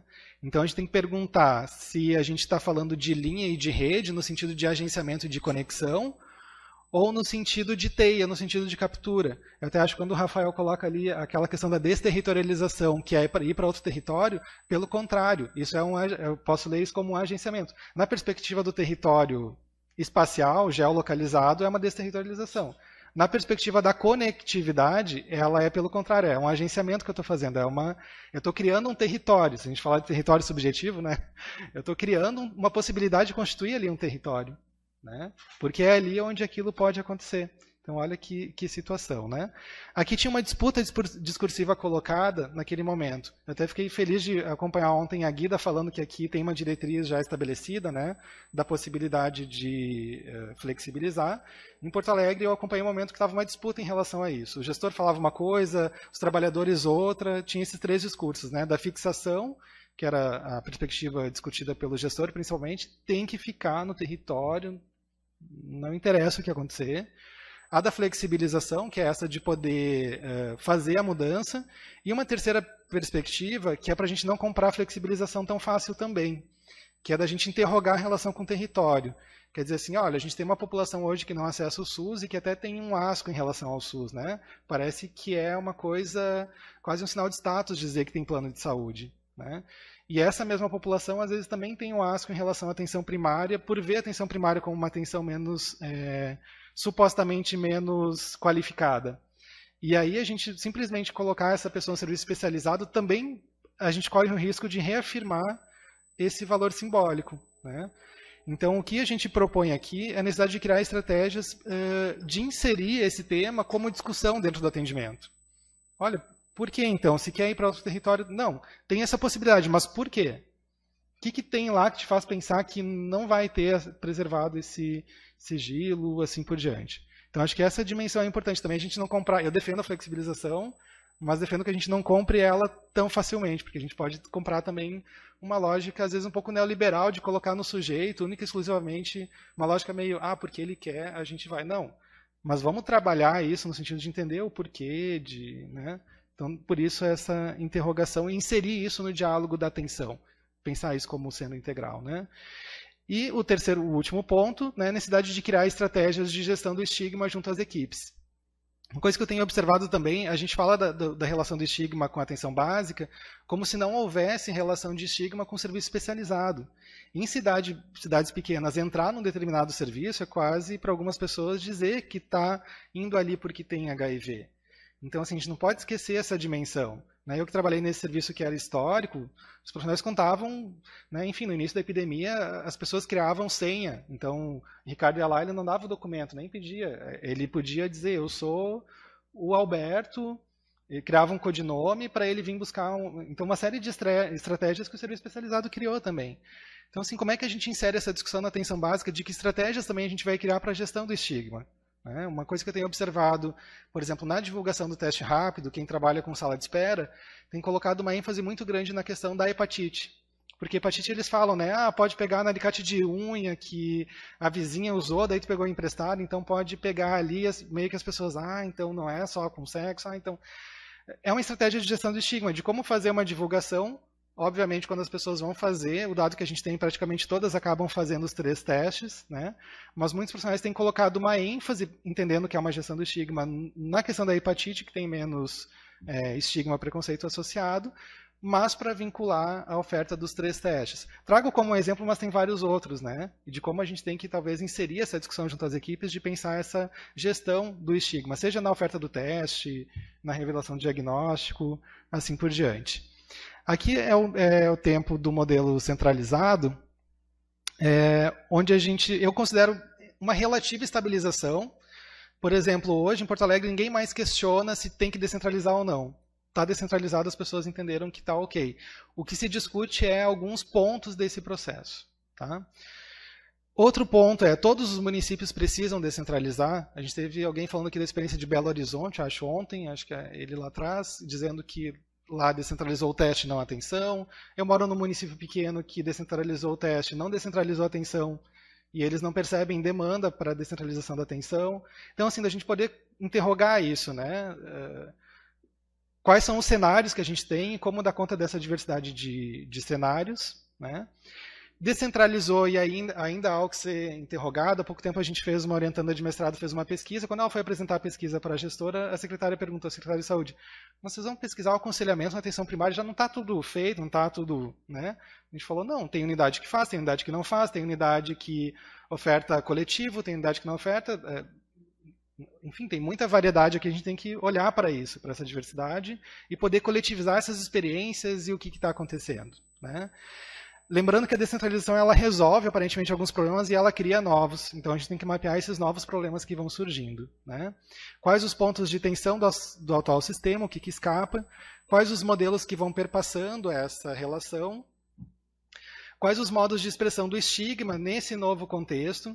De novo, acho que no seminário da Bia em 2017, que eh, a gente fez, o Veriano na época convidou, eu até fiz uma fala falando um pouco do estigma, não num, num sentido linear, né, mais forte, menos forte, ou, mas como é que ele vai se atualizando a partir de novas estratégias e como é que a gente tem que pensar isso na atenção primária para fazer essa gestão do, do estigma junto aos profissionais. Esses processos de tecnicização e biomedicalização da atenção, né, e os desafios estruturais próprios da atenção básica, que eu nem vou, vou entrar neles para pensar nesse, nesse modelo. Então, trago essas questões no final, né, que são as questões da, desse período de descentralização, principalmente acho que para abrir o debate um pouco depois aí, né, dessas questões que vêm se colocando hoje. Obrigado. Bom, é, muito boa tarde a todas e todos. Eu queria agradecer também aí, Eduardo, o convite é, para estar aqui. É, é uma, uma alegria cada vez que a gente encontra né, espaços como esse que param para refletir, param para discutir, né, e numa época tão é, avessa a esse tipo de prática, né, e uma questão tão importante para a gente. Né. É, eu até questionei, Ive e Eduardo, sobre a minha possível contribuição, uma vez que eu diferente dos meus colegas de mesa, não estou pesquisando exatamente essa questão da descentralização, né? É, mas a, a encomenda era um pouco falar sobre alguns conceitos que têm sido importantes né, na produção é, da resposta brasileira né, e que podem ajudar a refletir então sobre o processo de descentralização, embora não trabalhe especificamente com isso. Né. E, e, ouvindo a fala do Richard de manhã, eu falei, bom, então a gente pode é, localizar né, o tipo de contribuição que eu possa trazer aqui na perspectiva do que ele chamou do contexto paradigmático, né, que está em questão hoje. Não é? Quer dizer, na, no período que ele chamou, é, que eu achei até bonito, né, do, do tempo da esperança né, e da possibilidade da imaginação política, não é? a gente foi construindo uma série de, de conceitos, não é? entendidos então como certas cristalizações de determinadas concepções para atuação na prática, né? elas tiveram um efeito importante sobre a questão da resposta à epidemia de HIV/AIDS, né? e essas questões, elas, essas construções agora, né? nesse novo momento de é, é retrocesso, né? por um lado no plano macropolítico da, da da militarização e da, da, desatenção às questões sociais, né, elas se tornam não tanto uma, um instrumento de eh, construção, mas até mesmo de resistência. Né? É, pelo menos resistência, né? se a gente não conseguir construir muito. E aí pensar a descentralização na, na, perspectiva desses conceitos que eu chamo de reconstrutivos, né? Me parece bastante importante, inclusive para a gente ter clareza, eu acho que as duas falas que me antecederam, acho que deixam isso muito claro, né? que a gente não pode se iludir que a questão seja centralizar ou descentralizar. É? Mas tem que ver nesse processo de descentralização e centralização qual é de fato o inimigo, entre aspas. Né? Dizer, o que, que a gente tem que evitar né, que aconteça. O que, que não pode acontecer nesse processo? Porque o meio dele acontecer, as razões para eles acontecerem já foram muito bem expostas. Né? Elas são é, interessantes nas duas perspectivas e há possibilidades de sínteses é, criativas né, que superem os limites de cada uma e fortaleçam suas potencialidades. Né? Mas o que, que tem que tentar no horizonte que a gente não pode é, perder de vista como que deve ser evitado? A biomedicalização, né? É, e isso é um risco importante. Né? Eu sou também um entusiasta da atenção primária, trabalho com isso, né, desde o tempo da, da graduação, é, e já faz tempo. é, mas é um risco importante nessa integração com a atenção primária, eu já vou comentar isso. Né? É, a questão da, da individualização, né? Seja pelos, inclusive por algumas, algumas eh, perspectivas meritórias, de, por exemplo, é, da, da, flexibilização da liberdade das pessoas escolherem seus caminhos, né? mas que não pode perder de vista essa questão da, da do compartilhamento do comum, não é? que é fundamental, né? e a questão da, da, da, do abandono da perspectiva dos direitos. Né? Isso me parece também é, fundamental. É, e, claro, sempre produzindo tensionamentos. Né? É, um pouco para é, ver como esses conceitos é, da fase da imaginação criadora, né, do, do, período da esperança, né, eu destaquei esses três, vulnerabilidade, cuidado e integralidade, porque eu acho que são, então, elementos que, que nos ajudam a pensar o que, que foi construído o dispositivo e o que, pode servir de resistência hoje. Né. É, começando pela vulnerabilidade, eu não vou me deter muito aqui, eu, eu, nem sabia se eu ia apresentar os slides ou não, porque eu não queria tomar muito tempo com, com exposição e queria muito mais o, a interação, o debate, né, mas só lembrando, né, o, o o Richard já falou hoje de manhã um pouco desse processo, né? quer dizer que a, a primeira vez que se fala em vulnerabilidade é num texto publicado nos Estados Unidos em 92 e depois traduzido para o Brasil pela Bia em 93, né? e muito através né, é, da discussão da, da chamada Colisão Global de Polícias contra a AIDS, né, onde estava o Jonathan Mann, como o, o Richard mostrou de manhã, teve um papel importante nisso, né, e depois é retomado uma segunda publicação, que essa não foi traduzida para o português, AIDS in the World 2, né, que foi publicada em 96. E aí onde já mais claramente aparece os direitos humanos, não tanto como uma referência genérica, mas muito mais como já um, um instrumento para pensar e para agir. Né? É, nessa segunda, inclusive, aparece né, a, a, uma sessão inteira do livro falando da epistemologia à vulnerabilidade aos direitos humanos, né? mostrando então que de fato foi um caminho que se percorreu né? e que é, foi bastante importante para a gente no contexto brasileiro assumiu uma, uma importância é, enorme é, em termos de construir a nossa resposta e é, muito disso por causa também de aspectos que o Richard já apontou de manhã pelo uh, contexto que a gente vivia naquele momento. Né? Quer dizer, tanto no sentido do, do, que nós estávamos no processo de redemocratização, e no processo de redemocratização, a questão dos direitos começa a aparecer muito fortemente. Junto com isso, uma questão que nos faz, do ponto de vista macro-histórico, ir na contramão do que estava acontecendo no mundo inteiro, quando o mundo inteiro, a partir de políticas neoliberais, começava a esvaziar a ideia da saúde como um direito, o Brasil constrói essa ideia e cria um sistema único, universal e gratuito, não é, no momento em que estavam se desmontando é, serviços ou não investindo em serviços de saúde no mundo inteiro. Não é? E isso foi muito fruto daquele momento, não é? bebendo também de experiências importantes na, nessa, nessa perspectiva de relação entre saúde e direitos, que foi o movimento de atenção integral à saúde da mulher e o movimento antimanicomial ou a reforma psiquiátrica brasileira, né, que também tiveram, trouxeram inputs importantes, né, uh, além da tradição crítica da saúde coletiva brasileira, né, que já se usava da epidemiologia, mas se usava de uma perspectiva que se diferenciava muito de outros países do mundo pela sua densidade crítica, né, sua preocupação com o social. E no campo das, das humanidades, influência importantíssima de Paulo Freire né, e do construcionismo como forma de pensar a ação social e a ação política. Né? Isso foi decisivo para a gente. É, então, no Brasil, isso, isso assume uma, uma, uma caráter mais radical, inclusive, que fora. Eu lembro que quando eu comecei a discutir vulnerabilidade com os nossos parceiros do exterior, especialmente dos Estados Unidos, né, eles achavam estranho o modo como a gente estava usando vulnerabilidade, né, porque é, juntava, e era, isso é uma coisa muito própria da nossa antropofagia, né, que eles juntavam um conceito que eles tinham desenvolvido muito mais como uma espécie de é, forma de analisar é, contexto coletivo e individual, não é? mas nós juntávamos isso com uma, uma análise de determinação social e de é, intervenção na realidade. Usar direitos como uma bandeira política e não apenas como recurso jurídico, digamos assim, para defender é, direitos. Né? Isso acho que fez toda a diferença para a gente. Né? É, se a gente pudesse sintetizar, então nós pensamos a vulnerabilidade com totalidades compreensivas, né, tentando superar a dicotomia entre individual e coletivo, e aí aquelas três dimensões clássicas da vulnerabilidade, né, nós radicalizamos aquilo, né? pensar a dimensão individual já sempre como intersubjetividade, né? pensar como relações, né? o social sempre como esse contexto de interação onde essas, essas intersubjetividades se construíam, se determinavam. Né?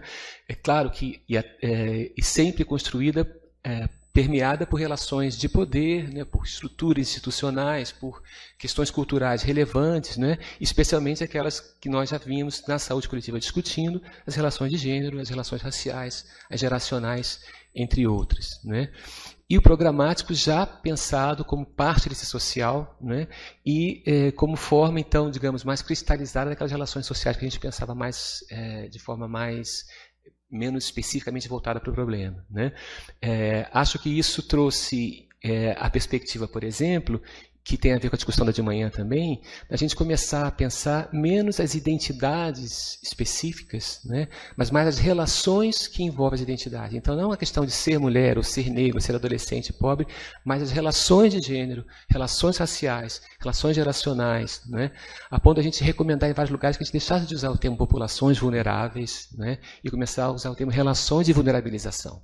Né? Mas isso é mais difícil para a gente até ponto de vista fonético. então a gente resume como populações vulneráveis, mas na verdade, rigorosamente, a gente fala de relações de vulnerabilidade, né? ou relações vulnerabilizadoras. Né?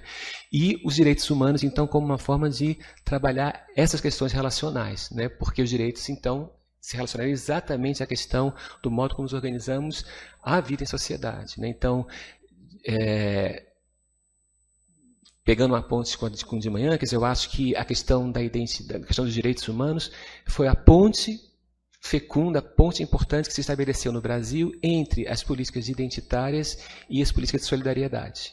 Né? e que de alguma forma a gente tem que alguma, tentar reter porque está tá se perdendo. Né?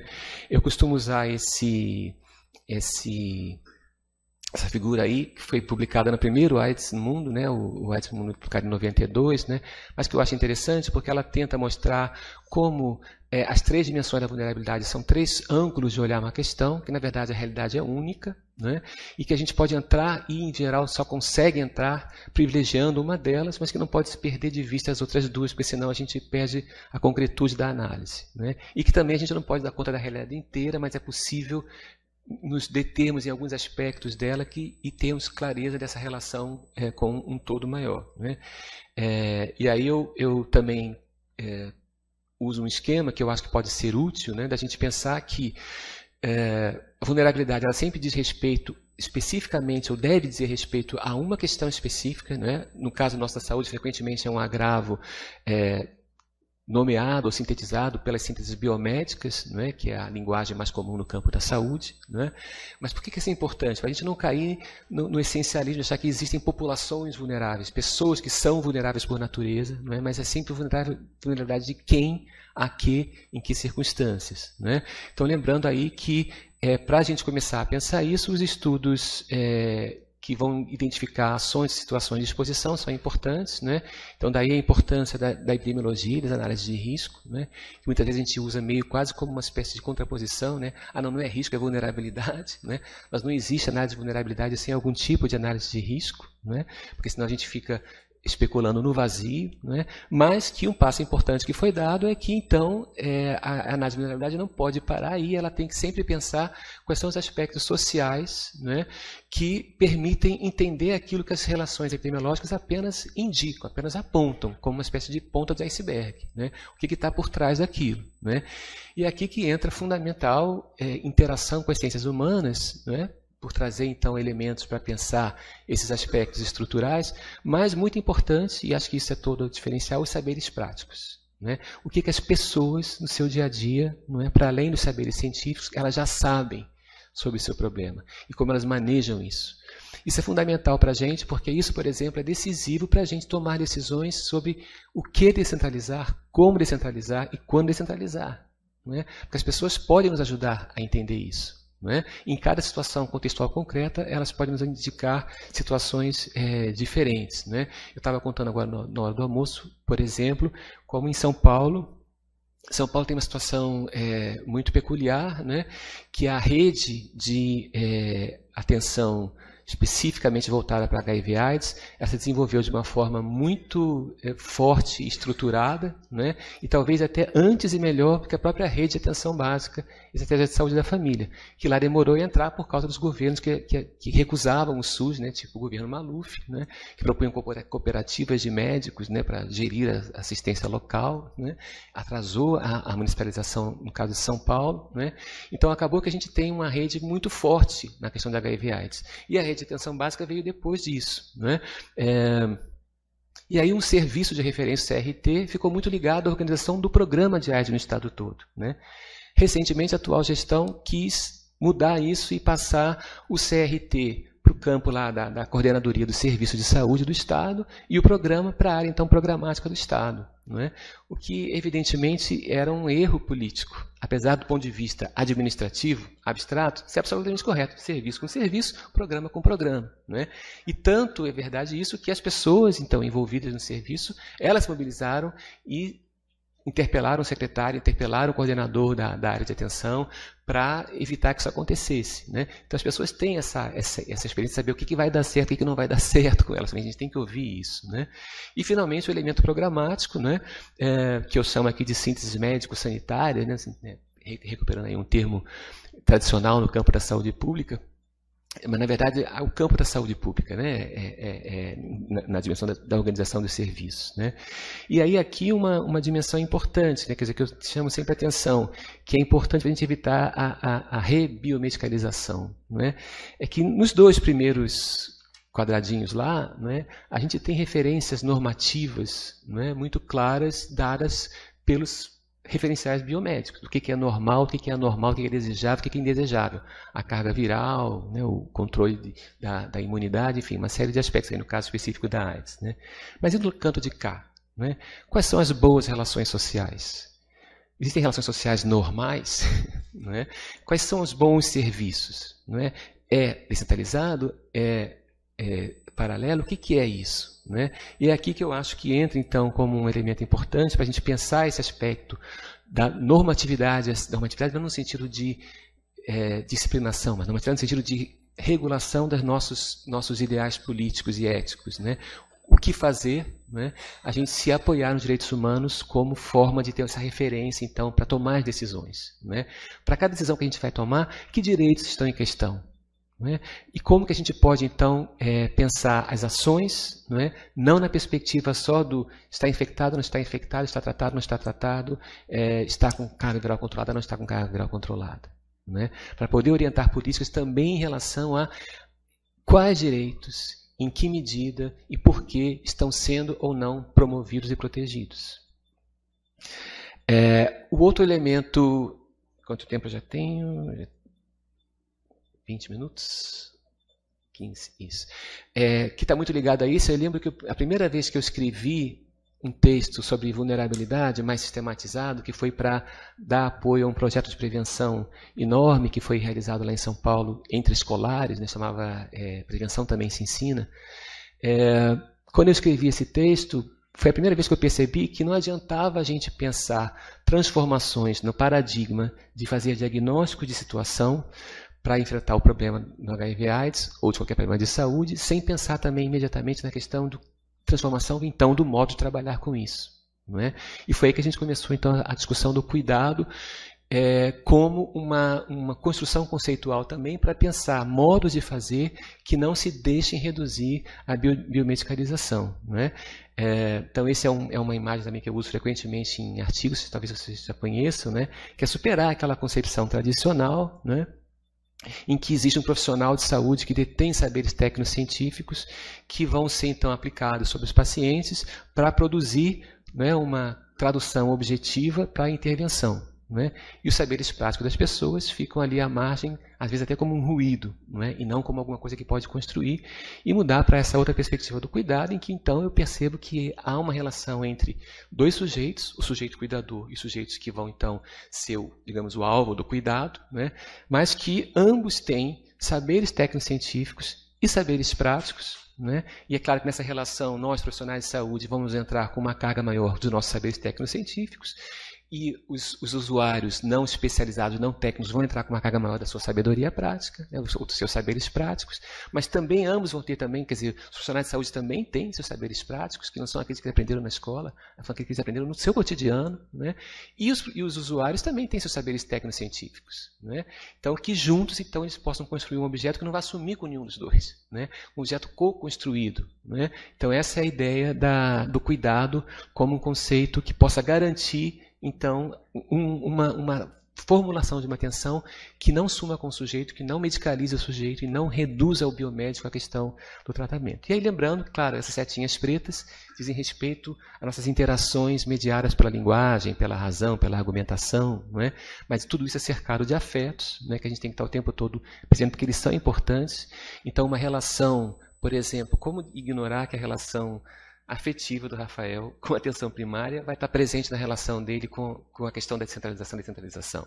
Vai estar presente. Nos nossos cuidados, nas nossas formulações programáticas também vai acontecer isso. Isso não é desimportante, embora a gente não possa controlar isso do ponto de vista racional. Né? E sempre lembrar que qualquer interação cuidadora será sempre produzida no contexto de intersubjetividade. E que isso vai desde a questão da relação interpessoal é? Então, qual é a melhor forma de eu chegar até as pessoas e de fato produzir essa dimensão dialógica e não unilateral, mas também no plano macro. Né? Quer dizer, como eu posso pensar cuidado, onde implica de, de fato dois sujeitos, né? macro sujeitos ou micro sujeitos, né? os sujeitos individuais se encontrando, se eu não tiver já de saída né? um sistema de saúde que permita o acesso universal. Né? Quer dizer, eu já começaria não cuidando se eu não garantir que as pessoas tenham pelo menos como direito o acesso universal, ainda que a gente saiba que para o direito ser efetivado há um caminho aí a cumprir. Né? Então a questão do SUS, né, embora as pessoas tendam a ler o referencial do cuidado como um referencial para pensar as relações interpessoais, ela é feita para pensar também as relações macro. Né? É, e por fim, então aqui só chamando a atenção, não é que é, na ideia do cuidado é a ideia de a gente juntar assim êxito técnico, ou seja, os saberes técnicos científicos com sucesso prático, ou seja, aquilo que de fato vai funcionar na vida cotidiana. É, sem essas duas coisas, isso não vai acontecer. E o que pode juntar uma coisa com outra é o que a gente tem chamado de projetos de felicidade. Né? O que, que move as pessoas? O que, que de fato é importante para elas? Como elas vão. É, como elas querem construir a vida delas? Né? E pensando sempre não como isso um projeto existencial e individual, mas sempre relacional. Né? Então aqui, relembrando, a gente tem as ciências da saúde que podem contribuir muito, né? a gente tem as ciências humanas né? e os saberes práticos, a que eu me referia antes, né? mas também uma dimensão fundamental que é a sabedoria prática, ou seja, nós na saúde o tempo todo estamos fazendo escolhas técnicas que têm implicações ético-morais e políticas. Não é? Para isso não há regra, não há lei, não há regularidade que nos permita de antemão saber o que precisamos saber e qual será o resultado das nossas decisões. É? Mas nós temos sim condição de buscar quais são as decisões mais virtuosas, aquelas que podem produzir mais felicidade. É? E aí, do ponto de vista é, normativo, é? uma normatividade não moralizante, não é, autoritária, né, vai implicar a perspectiva dos direitos. Né? E para terminar, é, eu tenho só mais cinco minutinhos, ou nove? Ah, então tem um pouquinho mais de tempo. a integralidade é, é, foi um conceito também é, que eu chamo de reconstrutivo, não foi específica da epidemia de HIV/AIDS, né? ela foi construída com a reforma sanitária, foi construída junto com o SUS, né? e ela é aquele terceiro elemento daquele tripé né? é, importantíssimo que é da universalidade da equidade, sem, sem a qual os outros dois perdem um pouco o sentido. Né? Não adianta eu ter acesso universal ao pacote mínimo que é, a OMS, em dado momento, defendeu. Não, é? não adianta eu ter também um acesso igualitário não é? se eu estou tratando de pessoas com necessidades diferentes. Né? Então, a equidade é fundamental também. Agora, a integralidade, se, se eu não penso em que as pessoas é, não têm demandas pontuais de saúde, mas elas vivem a saúde no seu cotidiano como uma forma que não dá para separar essas coisas, né? eu tenho que pensá-las junto também e interagir de uma forma integrada. Né? É, e aqui também é, uma, é um outro ponto igual à nossa vulnerabilidade, que também não é muito fácil discutir com nossos colegas do exterior, né? porque é, eles tendem a ver a integralidade é, como comprehensiveness, né, que é, uma, que é uma, uma, coisa interessante, mas é uma espécie de aproximação mais que eu leve em consideração para cada indivíduo um conjunto de necessidades daquele indivíduo, né, e para a gente integralidade implica também aspectos estruturais da organização do serviço, da criação das redes, da interação entre as redes. Né. É, então, a gente, para pensar como é que a gente pode tornar porque, embora seja um, um, um, princípio importantíssimo, talvez seja o mais difícil de definir de todo o processo de construção da reforma sanitária. Né? Se você pedir para 10 pessoas 10 definições de integralidade, você vai ter, é, de, de, você vai ter 10 definições. Né? É, a gente, é, quando começou a, a trabalhar, tentar explorar esse conceito lá no nosso grupo, no Centro de Saúde Escola do Butantan, na USP, a gente tentou achar uma definição e não conseguiu, e aí muito inspirado num texto aí antigo do Rubens, né, dos vários sentidos da integralidade, né, do Rubem Matos, que até fiquei com pena de não ter ouvido ontem aqui, é, a gente pensou usando a teoria do processo de trabalho em saúde, desenvolvida lá pelo Ricardo Bruno nos anos 90, né, pensar, pensando no processo de trabalho, em que aspectos a ideia de integralidade pode ser importante e modifica ou reconstrói as práticas. Né? E aí a gente identificou quatro planos, é? ou quatro eixos, em que a integralidade é, pode ser um, um, orientador da reconstrução das práticas. Né?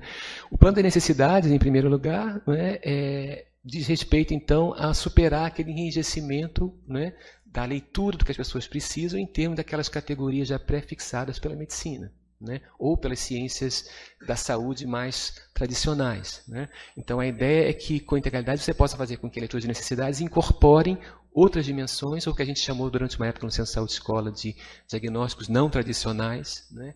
que, por exemplo, baseado em diagnósticos de vulnerabilidade e é, direitos humanos. É? Então, certas, certas situações que exigiriam algum tipo de ação ou de resposta dos serviços, individual ou coletivamente ou comunitariamente, né, e que pode ajudar então a construir essa atenção integral. Né.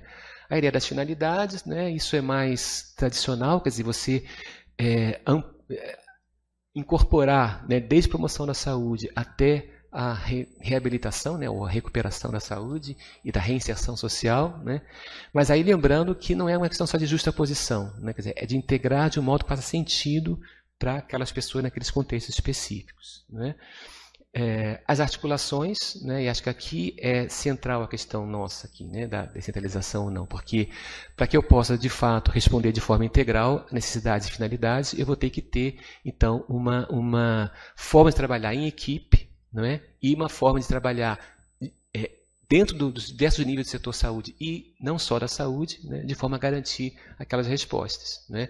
E aí eu acho que é, é, é foram levantadas coisas fundamentais aqui. Quer dizer, a atenção primária ela é, é interessante porque ela pode ser um espaço importante de articulação, não é? Mas a gente não pode perder de vista também que, muitas vezes, pelo aspecto muito amplo de questões que ela abrange, né, ela pode perder, por exemplo, potência em termos de identificar vulnerabilidades a problemas específicos. Não é? E aí você é, perder força do ponto de vista programático, inclusive para ações que extrapolam só a atenção individual. Não é? Outro aspecto importante é a própria ideia de território. Não é? Como já foi dito aqui pelo Gustavo, quer dizer, a atenção primária trabalha com uma ideia de território que, embora se tenda, se esteja tentando enriquecer, até pela influência do nosso contexto cultural, né, da, do trabalho do Milton Santos, né, tornar a ideia de território uma coisa diferente da, da área adscrita. Né? Mas frequentemente no contexto cotidiano do trabalho vira área de escrita e a gente perde o território informal que se constrói pelas redes de sociabilidade que podem ser fundamentais para a tomada de decisão nesse caso. Né? É, e finalmente a questão das interações. Né? É, esse talvez seja o mais difícil. Né? Tem sido um pouco trabalhado na perspectiva da humanização, a gente pode aprender muito com essa experiência da humanização, né? mas na verdade, mesmo no, no, na, na, política de humanização, muitas vezes se perde de vista a radicalidade disso, né? porque muitas vezes fica só na questão do, do bom trato interpessoal, da empatia e tal. Né? E na verdade a gente tem que pensar quais são esses sujeitos que estão em interação e como eles de fato se pode construir simetria nas interações entre eles. Né? É, no momento em que a gente vê, por exemplo, né, a, a, as atitudes do atual governo em relação ao NASF, né, recentemente extinto, né, é, a gente vê, por exemplo, a importância que se dá a interações é, em que se incluam profissionais de saúde multidisciplinares ou interdisciplinares né, de forma mais consistente na atenção básica. Há um discurso que não, não é isso, é mais só flexibilização, mas na prática é o desmonte de um dispositivo importantíssimo para garantir interações mais simétricas entre diversos saberes. Né? Além disso, a questão dos projetos políticos dos sujeitos. Né? É, Rafael levantou uma questão importantíssima. Os agentes comunitários de saúde estão produzindo uma experiência e, portanto, um projeto também sociopolítico importantíssimo e que está sendo pouco ouvido ainda. É? Nas reuniões de equipe, muito frequentemente, a gente vê isso com os alunos lá da graduação que a gente leva para as unidades, né? eles voltam impressionados como os agentes comunitários de saúde não se manifestam nas reuniões. É? E fica centralizado entre médico e enfermeiro. É? A própria experiência do médico de saúde da família. É? é o médico de saúde da família e muitos, não todos, claro, e muitos enfermeiros, não todos também, eram grandes inimigos do NASF. Por quê? Porque o NASF produzia, no processo de trabalho concretamente operado, uma descentralização de poder. Poder decisório, o que fazer. E as, as médicas não, não, não admitiam isso. Né? Dentro da própria, da própria saúde, família, de, saúde da família, né, da estratégia de saúde da família, você tem um profissional que é estratégico, é fundamental, que é o médico de família e comunidade. Né? E a gente nota dentro dos médicos de família e comunidade também uma cisão política. Né? Há aqueles que se vinculam ao projeto da saúde coletiva e do SUS, né? e que veem a estratégia da família como uma estratégia de atenção primária, né? e aqueles que veem medicina de família e comunidade como uma especialidade médica né? e que deve lutar pelas suas é, prerrogativas corporativas. Né? Então, entender esses, esses, essas relações de poder entre os sujeitos para construir interações e dispositivos de interação mais simétricos e mais, de fato, intersubjetivos me parecem fundamentais. Bom, essas eram as, as três grandes contribuições. Eu acho que eu tinha, eu ontem é, recebi o, o, os muito gentilmente os, os, né, os slides do, do, é, do, Eduardo e da Guida, e só separei porque eu achei essa, esses desafios que o Eduardo listou ontem, uma excelente síntese né, dos desafios morais, éticos, técnicos, organizacionais e políticos, né, para os quais eu acho que esses três conceitos, vulnerabilidade, cuidado, e pensando isso sempre na pesquisa dos direitos humanos, e integralidade, podem ser dispositivos de resistência é, fundamentais. Muito obrigado.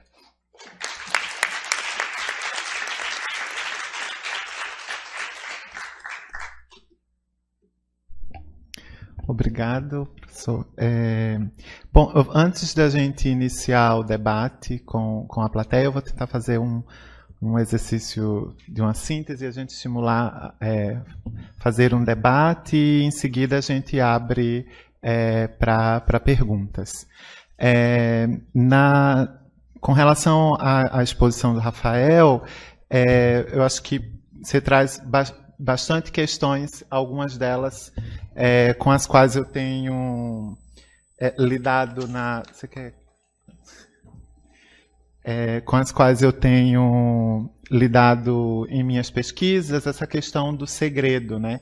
E essa gestão do segredo é, que tu trazes na como que isso se conforma é, dentro do serviço que, que tu etnografou.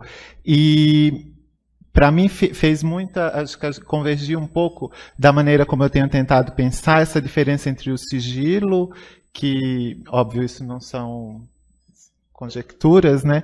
O sigilo como algo mais restrito à atuação do profissional, o, o silêncio que, em linhas gerais, estaria mais vinculada a essa coisa do talvez do não falar, mas o segredo como tendo certas materialidades, né? E eu acho que tu trazes isso no, na, na tua pesquisa e se você poderia comentar um pouco mais sobre isso. É, um outro ponto que me, me pareceu é, é, bastante interessante é quando você traz a questão das, das excepcionalidades contextuais, né? É, é essa questão do, dos aspectos positivos é, que existiam no, no serviço e quando você caracteriza esse serviço, né, pelo número de residentes, né, pela própria composição do serviço, e, e eu queria te perguntar se isso é, guarda alguma relação com o processo é, que a gente vinha vivendo aqui no Brasil e que um dos pontos altos, né, em termos é, é, políticos durante o governo Dilma, com o programa Mais Médicos, né, que um dos eixos dele né, era a ampliação, né, eram reformas a níveis da, da residência médica, né, da formação médica, tanto a nível de graduação como da residência. É, se isso e como que isso se construía também a partir de uma perspectiva de integração ensino-serviço-comunidade e como esses processos, né, que de repente aparecem no teu trabalho de campo como potencialidades e como que isso fica agora dentro desses contextos de crise. É, e por último, eu gostei bastante. É, eu, quando eu estava no doutorado, eu recebia essa, entre aspas, críticas, né, de, dessa coisa de, de se empolgar e de ter um, um, certo otimismo com o campo, porque eu etnografei grupos de, de educação em saúde para pessoas que vivem com hipertensão e diabetes na atenção básica. E geralmente a literatura apenas, né, e eu também quando eu cheguei em campo, eu tinha uma visão bastante negativa, né, é, é, que eu ia encontrar lá, é, é, é sei lá, uma série de, de, problemas que em geral se, se critica nas questões de educação e saúde, e eu me dou conta com um conjunto de relações que que, que, vão me mostrando o tempo inteiro, não que não existiam problemas ou questões, né? Ou que aquelas críticas não estavam, não fariam sentido ou algum sentido naquele contexto.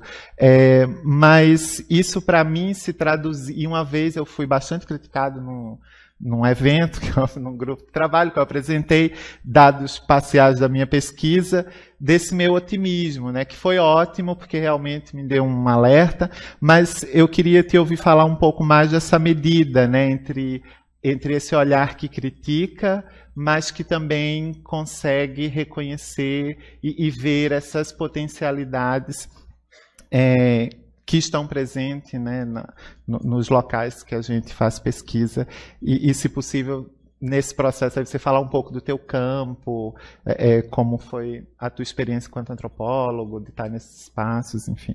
É, com relação à, apresentação do Gustavo, eu fiquei pensando bastante, Gustavo, algo que a gente já tinha conversado um pouco ontem, é como a gente é, quando você traz essas é, na tua exposição, né, esse, esse, esse, esse, processo, né, que vai a partir da experiência de Porto Alegre, né, é, entre aspas, entre um antes, um durante e aí talvez um depois, é, e eu fiquei pensando o quanto é importante a gente pensar às vezes essas é, é, distâncias e peculiaridades entre o que está no texto da política né, e a maneira como que ela vai ser implementada no, no, no conte nos contextos de prática, né? E o quanto que isso se configura de maneira diversa, precisa, principalmente quando a gente pensa o Brasil, que há tantos Brasis dentro desse nosso Brasil, né? Infelizmente, a, a nossa academia ainda fica muito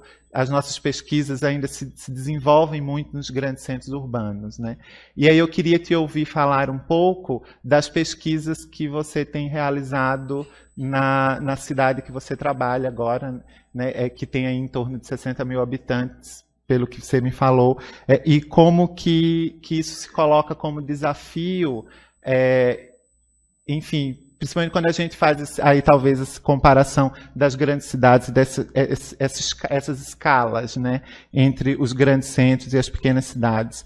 É, um outro ponto é, que eu queria, e aí isso acho que para vocês três, é como essa questão do estigma né, e, e os dados da pesquisa é, que, das duas pesquisas né, que vocês apresentaram trazem isso, como que essa dimensão do estigma relacionado ao HIV/AIDS, ela tensiona né, ou provoca é, que a gente pense ou repense esse conceito de território né, é, com o qual historicamente a, a, gente tem que a gente tem produzido e utilizado no SUS né, é, e também Gustavo é como se você pode falar um pouco é, a, trazer mais algumas informações sobre essa questão é, que você traz do. Isso a literatura tem demonstrado bastante, principalmente é, é, recentemente eu li um texto de uma etnografia feita em Uganda e por, o quanto que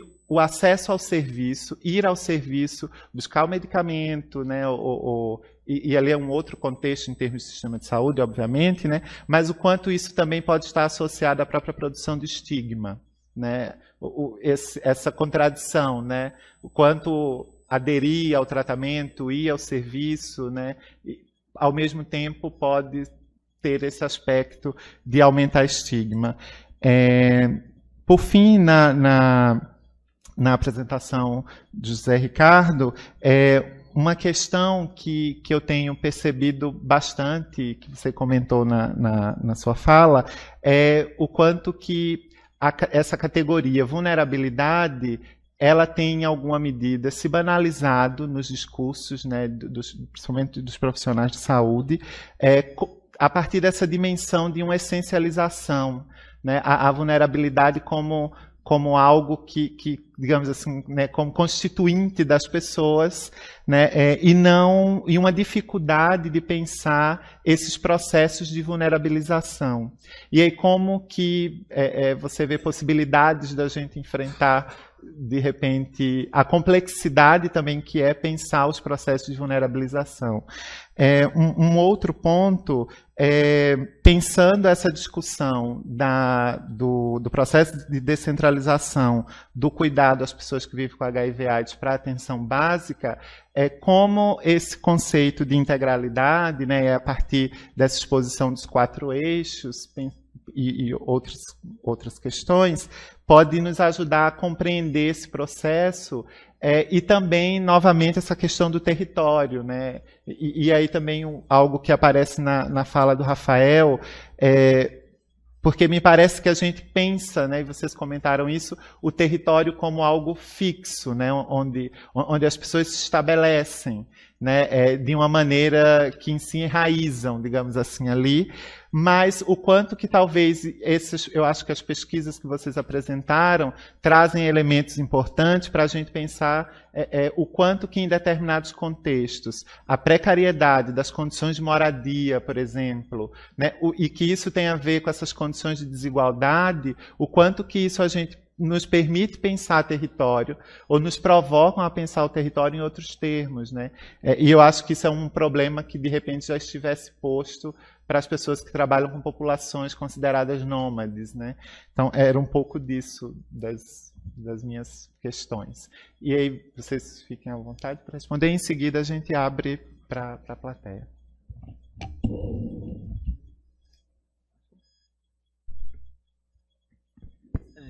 Então, você colocou é, um, questões mais abertas, outras mais fechadas. Não, não sei se, se dou conta de, de esgotar, mas vamos lá.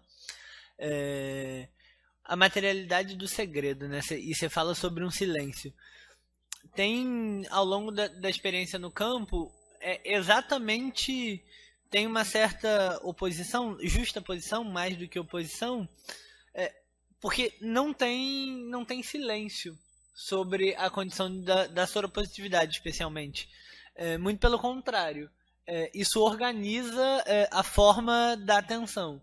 Então, ao mesmo tempo que as, tanto as agentes comunitários de saúde quanto os profissionais dizem, ah, mas o atendimento é o mesmo para todo mundo, a todo tempo intra-equipe, essas pessoas são identificadas como pessoas vivendo com HIV. E aí não são identificadas como pessoas vivendo com HIV no sentido de falar ah, aquela pessoa é, vivendo com HIV é, no, no, no, sentido de exclusão, muito pelo contrário, é, na perspectiva de tentar promover uma inclusão é, ou um caráter de excepcionalidade. Então, falar, ah, não, é, eu preciso olhar com, uma, com um pouco mais de cuidado.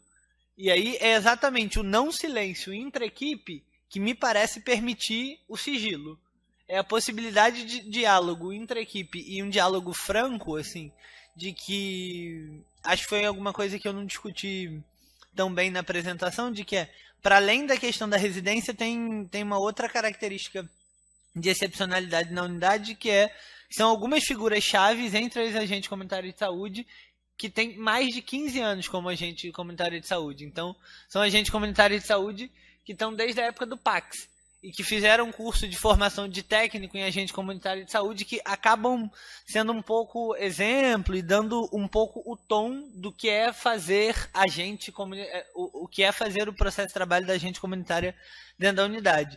E aí me parece que é exatamente o não silêncio, pelo menos por parte dos profissionais, é, que permite o sigilo. Eu sei que pode ficar, parecer uma, um antagonismo, mas é exatamente a chance de falar livremente e a todo tempo identificar, ah, mas é, fulano vive com HIV e a gente tem que olhar e de repente é, não veio. É, claro, não dá para fazer isso com todo mundo, que é um dos problemas do acesso avançado. Como você não marca a consulta, você não sabe se o sujeito que não veio tá aderindo, enfim, porque se perde, a falta de planilha perde. Por outro lado, aquelas pessoas que são mais próximas ou que é, são é, hiperutilizadores, para usar um conceito da saúde coletiva, mas tipo, para eles são para os profissionais são os viciados na clínica, esse é exatamente eles dizem ah não isso é vício porque o sujeito e de fato tem gente que vai à clínica três vezes por semana. Eu via e aí parava para conversar e ficar batendo papo, porque não só ia três vezes à clínica, como passava três, quatro, cinco horas por dia na clínica. Então esses é o não silêncio, é, o, é a possibilidade de diálogo que permite o sigilo, ou que, é, na minha interpretação, permite o sigilo.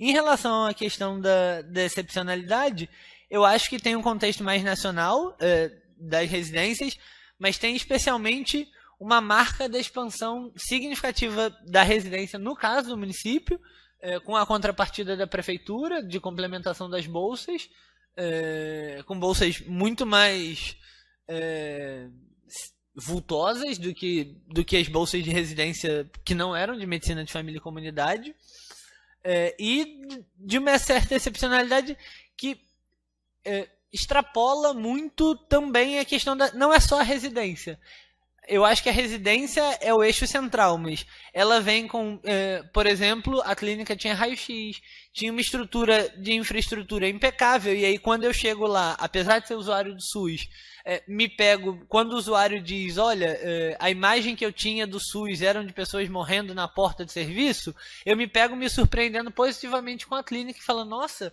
mas é tudo sempre tão limpo, e com ar-condicionado tão gelado, e com tudo tão organizado, um pouco desse processo, já tentando entrar na ideia uh, do antropólogo, de um certo estranhamento daquilo que pra gente. E, e o olhar da crítica, né? É, é, bom, sobretudo porque quando eu entro em campo, eu entro em campo em abril de 18. A gente já tinha, o golpe já tinha acontecido, então a, você entra um pouco motivado, assim, é, precisa fazer uma um, um exercício de respiração para não entrar falando, não, bom, eu agora eu vou, vou ver o que é que não está funcionando. E aí você é surpreendido por, é verdade, tem muita coisa que começa a desandar, mas tem outras tantas coisas que continuam dando certo. É...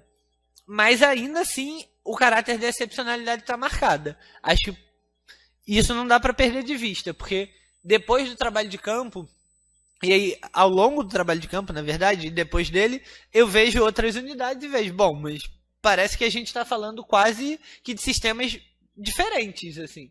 Não, não, é a clínica. E aí, quando Carol, por exemplo, quando o Ivan, o Eduardo me mostram alguma coisa, eu falo, não, mas isso lá na clínica, na clínica que eu fiz trabalho de campo, isso não acontecia. Mas isso acontecia em, em vários outros lugares. E aí é um pouco de pensar qual é o caráter de excepcionalidade que é puxado pela residência, mas que tem outros tantos elementos, como a antiguidade das ACS, enfim.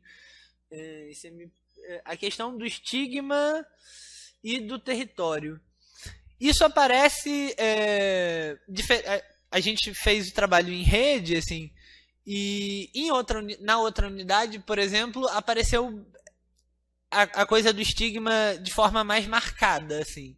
É, na unidade em que eu fiz o campo, isso aparece menos. Então, por exemplo, a experiência de pessoas expulsas do território por conta do tráfico, isso não aparece no, no campo no qual eu trabalhei. É, muito pelo contrário, eles dizem, olha, as pessoas até, com, é, os profissionais, né? O, é, falam, né? Até se comenta sobre isso no território, mas ninguém é excluído por causa disso. As pessoas comentam, é, mas o estigma é menor, as coisas estão mais tranquilas. É, fulano que vive com HIV vai até é, a, a festa na minha casa.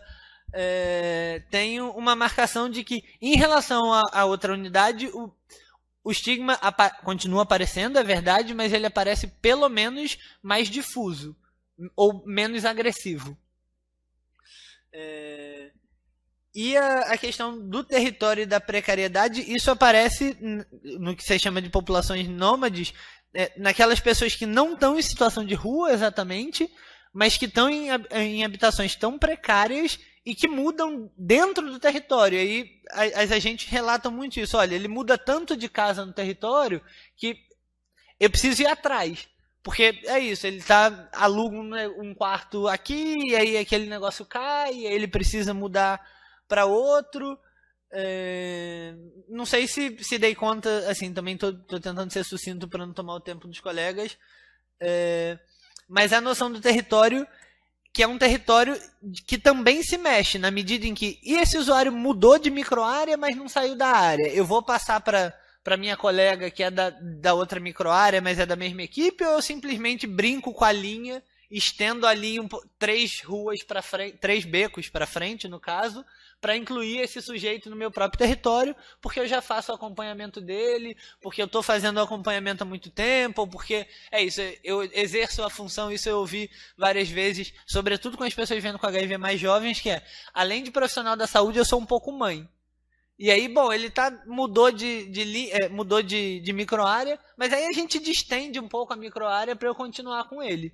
Isso a, apareceu assim mais de uma vez. Não sei se, se te respondi, mas foi mais no intuito de, de comentar.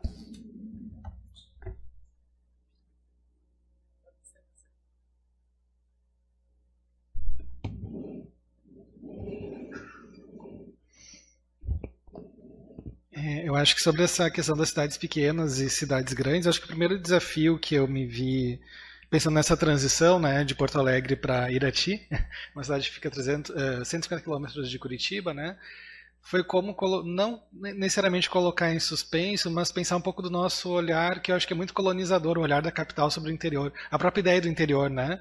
Capital interior. Para quem mora no interior é uma divisão estranha, porque as pessoas que moram nessa cidade não se veem morando, eu moro no interior. Não, eu moro em Irati, e Irati é diferente de Londrina, que é diferente de Maringá ou de Foz do Iguaçu, que tem as cataratas, entende? Então, tem, um, acho que um primeiro desafio, e, e, que eu acho que é o olhar colonizador que a gente tem, às vezes, do centro urbano também para a periferia.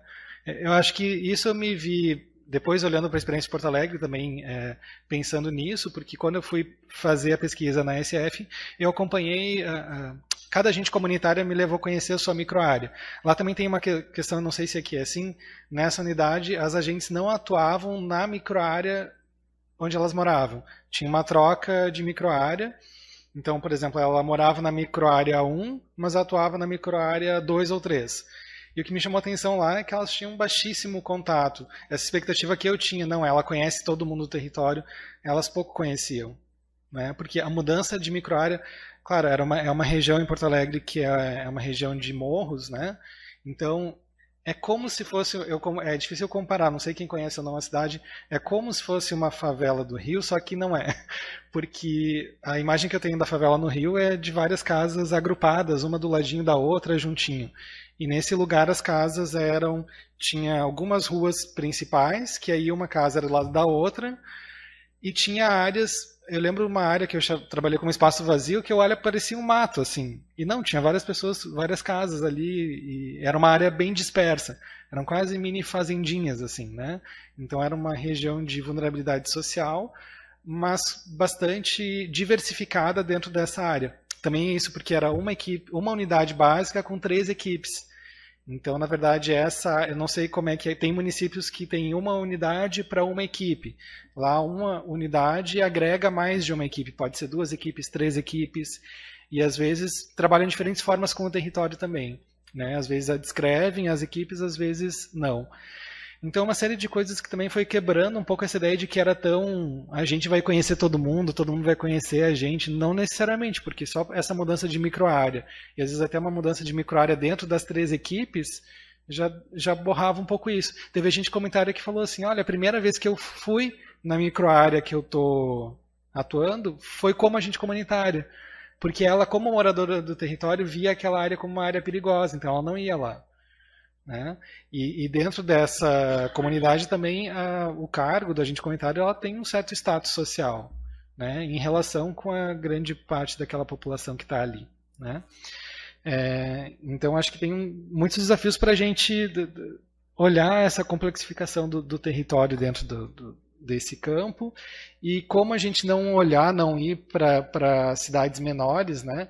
Uh, com um olhar colonizador, esse olhar assim de que na capital tudo é melhor, de que, que nem o serviço especializado é melhor e a capital. É uma lógica fractal, na verdade, né? A fractal é aquilo, né? Tu pega o pedacinho e reproduz o todo. É, e a gente tem essa lógica de, de ir colonizando esses lugares.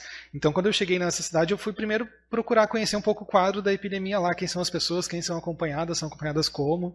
Fui criando vários projetos de iniciação científica, um projeto para entender quem eram as pessoas acompanhadas no serviço, depois um projeto que entrevistou pessoas históricas na atenção lá para entender como é que foram, como é que foi a recepção, né, nessa cidade na visão dos profissionais até eu ter um vínculo e começar a me aproximar dos profissionais, dos usuários e poder fazer uma pesquisa com usuários nessa cidade não tem ninguém que participe de movimento social organizado ou que se ou que revele sua sorologia publicamente.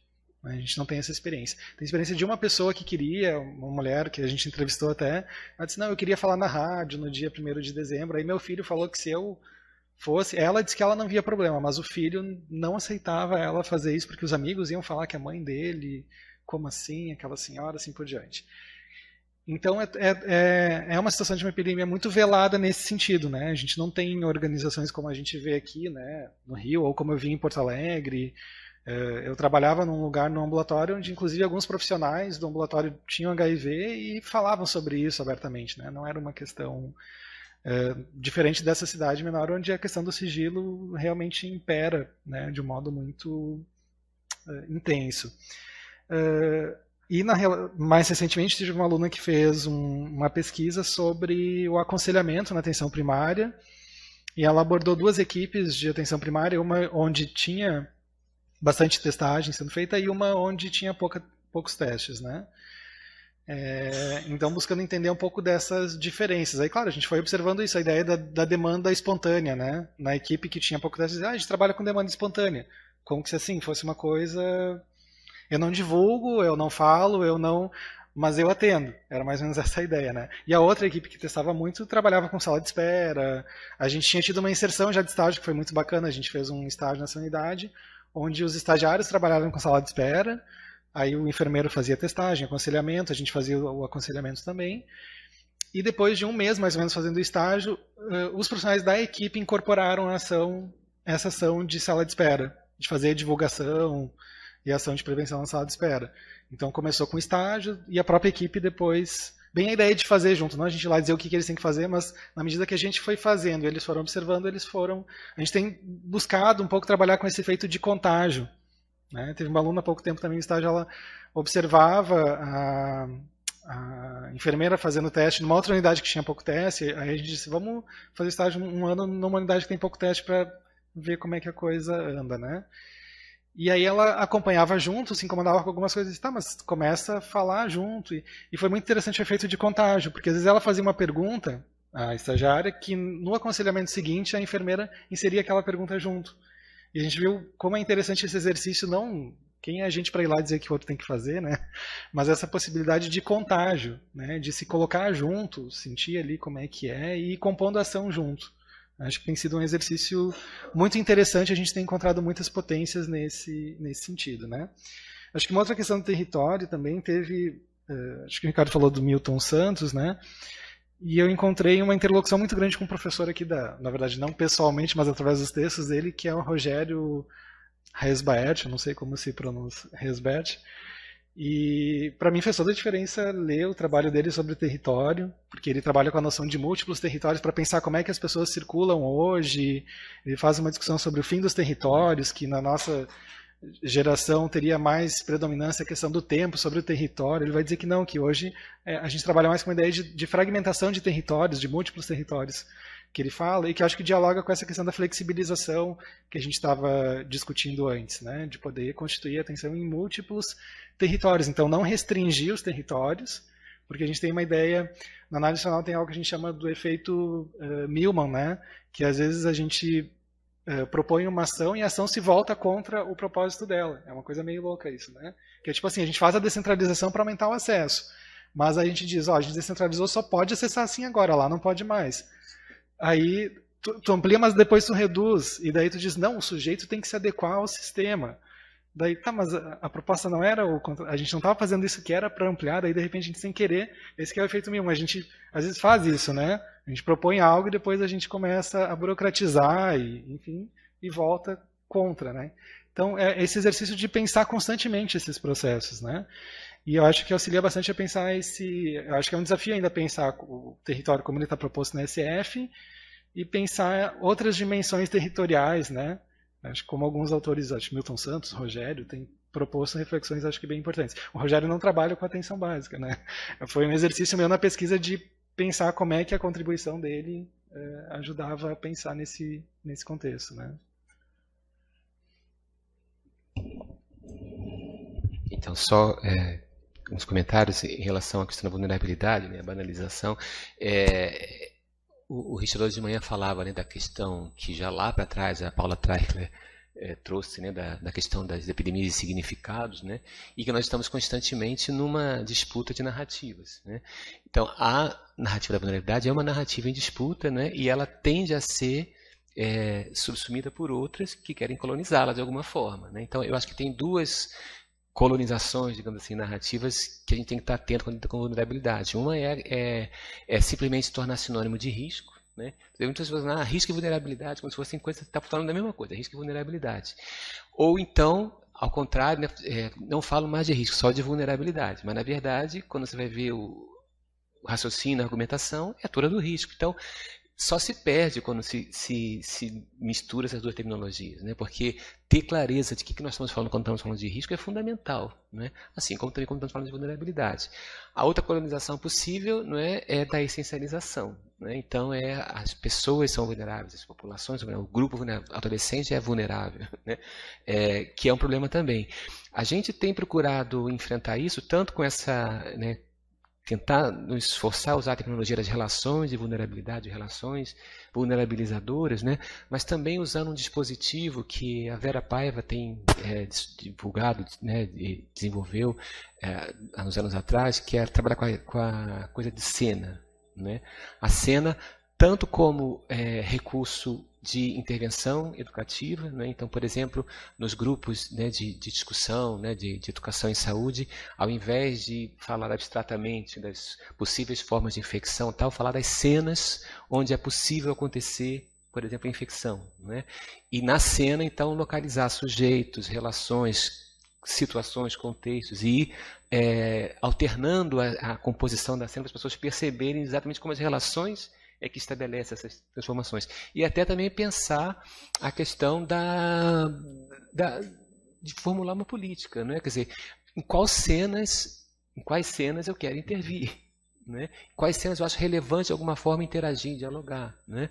É, e isso me remete a uma outra questão que você levantou também da integralidade, né? Que eu também sempre tenho insistido. A integralidade não é, é dar conta de tudo, mas é lidar num todo, que é diferente. Né? Então, é, a gente tem que abandonar a onipotência de que nós, como profissionais, ou o gestor, como planejador das ações e tal, vai dar conta de tudo que as pessoas precisam. Não vai dar. Tem uma, uma, uma, quantidade enorme de questões que vão ficar fora, que a gente às vezes não vai nem saber. Né? Mas se colocam demandas que a gente não pode desconsiderar em que contexto elas surgem. Só para dar um exemplo para finalizar, não me estender muito, a gente está começando agora uma grande pesquisa lá também, um projeto temático com apoio da FAPESP, sobre prevenção, é, trabalho com, na verdade, direitos é, sexuais e reprodutivos entre escolares. trabalhando na perspectiva de vulnerabilidade de direitos humanos e, então, é, articulando o trabalho com escolas e serviços de saúde. Né? E nós começamos pela escola. Né? Só que quando nós chegamos na escola, né, conversando a conversar com as pessoas, a grande questão do momento né, que arromba a porta é a questão da saúde mental. Né? Os jovens estão se suicidando. Né? As pessoas estão deprimindo. Como é que eu vou trabalhar a saúde sexual e reprodutiva desconhecendo? Não, não, mas eu vim falar aqui sobre saúde sexual e reprodutiva. Né? Então nós fizemos uma modificação no projeto, vamos começar trabalhando por saúde mental e a partir daí começar a articular com direitos sexuais e reprodutivos. Né? Então eu acho que esse é que tem que ser um pouco o caminho, não tem muito jeito. Obrigado. Eh, vamos abrir para a plateia, para questões, e a gente pode fazer um primeiro bloco de três perguntas. Liliane.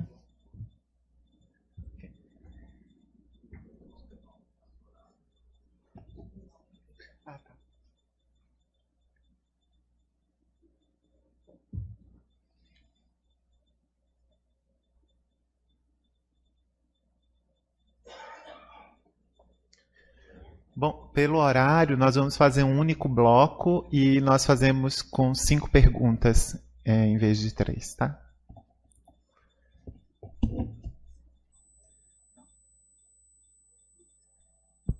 Agora tá.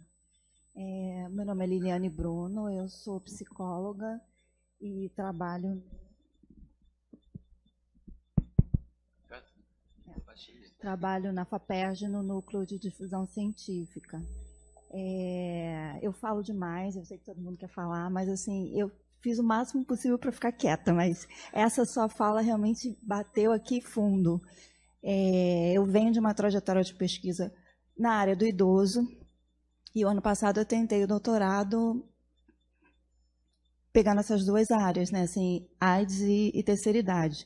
E para mim foi um susto muito grande. Primeiro porque eu não sei quase nada de AIDS, eu tenho muito para caminhar, e a incidência de AIDS nas pessoas idosas, né? Porque assim, o que a gente considera como geração Viagra são pessoas que não têm o menor conhecimento do risco da doença, do que, que ela acarreta.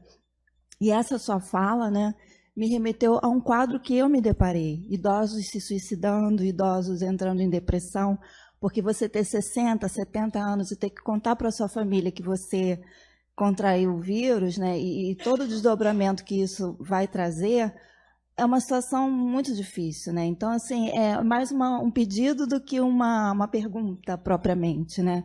É, que as pessoas aqui que, têm um, que estão atuando na linha de frente, que já têm uma trajetória de pesquisa na saúde pública, no cuidado das pessoas vivendo com AIDS, me ajudem, né? pesquisem, procurem é, ver o que está acontecendo, porque eu acho que é diferente você ter 30, 40 anos nessa convivência né, com a AIDS e chegar ao envelhecimento e você se deparar com a AIDS quando você é idoso. É diferente. Então, assim, é mais um pedido né, para que a gente possa pensar sobre esse público, é, incluir esse público nas pesquisas, nos estudos. Eles têm um vínculo muito forte com os ACS. Então, isso tudo é só assim mais uma mais uma frente de trabalho, né? Assim para a gente parar, pensar, pesquisar, produzir, porque é uma necessidade muito grande, né? E é um público que merece, né? Cuidado, atenção, né? E, e era isso. Obrigada. Alguém mais?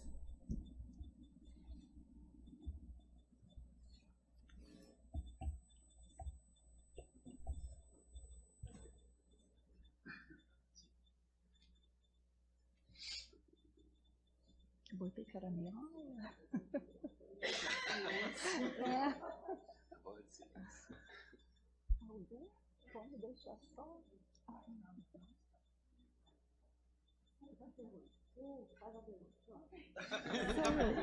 Eu estava perguntando o sobrenome do Rogério aqui, que você falou. Resbert. Resbert. É difícil de falar, né? Eu, eu sei escrever.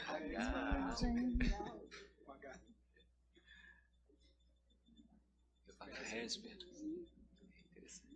Está tudo no ar. Está tudo no ar. Todas as questões estão no ar. Eu já tinha diálogo É, aqui sob pressão. É, enfim, vou aproveitar, né, vocês, é, para falar um pouquinho mais, assim, porque no, no, cotidiano do serviço de saúde, especialmente na atenção básica, onde eu estou trabalhando hoje, até falei um pouquinho disso quando a gente estava almoçando, assim, são tantas as, as visões de mundo ali, né, da equipe de saúde e o jeito como cada um é, desenvolve lá a sua prática de saúde, seu jeito de cuidar do outro, são tantos desencontros, tantas cabeçadas, assim, como é que a gente faz, né, para cuidar junto de um de uma pessoa que veio ali buscar nossa ajuda, quando quando a gente vê o mundo de formas tão diferentes, assim, né? O médico, o agente de saúde, o psicólogo, enfim. É, assim, como é que a gente lida com esses desencontros, assim, no cotidiano do, do da unidade de saúde, entendeu? No cotidiano do trabalho e tal. Falar um pouquinho disso.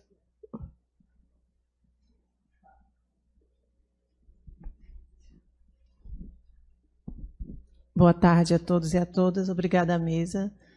Lucas trouxe muitas questões deplagadoras aí que eu fiquei ainda pensando, fiquei viajando.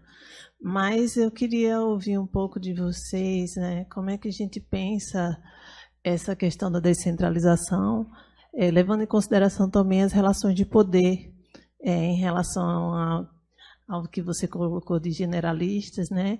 E, infectologistas, né? Não sei se foi você que colocou, Rafael, se foi na mesa pela manhã que eu vi, que já estou ficando jureita aqui.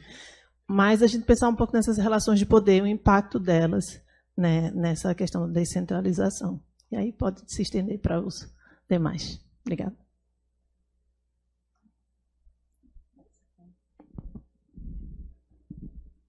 Rafael. É, é mais uma, uma, uma curiosidade, é, uma dúvida. É, nos, é, o Gustavo e o Rafael, é, é, vocês encontraram no campo de vocês é, agentes comunitárias que, bom, é, é, na pesquisas que eu, que eu no, no, no, nos meus trabalhos de campo, sempre tinha um ou ACS ou então algum membro da equipe técnica que detinha alguma forma de capital, ou é mais antigo, ou que transitava melhor no, no território e tudo mais, e que meio que se, se, se destacava, meio que referência, né? É, bom, meu contexto é de atenção, não, não atenção básica, mas especializada, então, por isso talvez fiquei com, sabia se poderia quebrar a pergunta ou não. É, e também é, são contratos temporários de trabalho, né, que são muito, das, especificamente das ACS. Se bem que no meu trabalho de campo doutorado, um CTA mesmo que eu faço o trabalho de campo, a equipe tirando a gerente, que é a única concursada, todo mundo é contratado.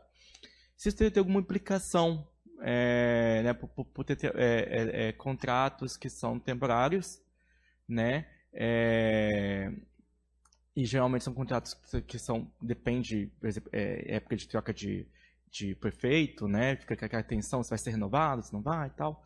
É, se isso de alguma forma pareceu como uma questão que implicava no trabalho do cuidado é, oferecido para essas profissionais.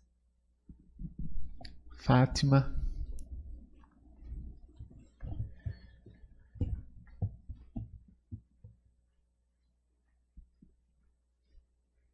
Na verdade, assim, é, não sei se isso tem a ver com a questão da, de HIV AIDS, mas é, a gente está em vigência né, né, né, nas instâncias federais, isso também replica para as instâncias né, locais, estaduais, uma política de integridade da gestão. Né?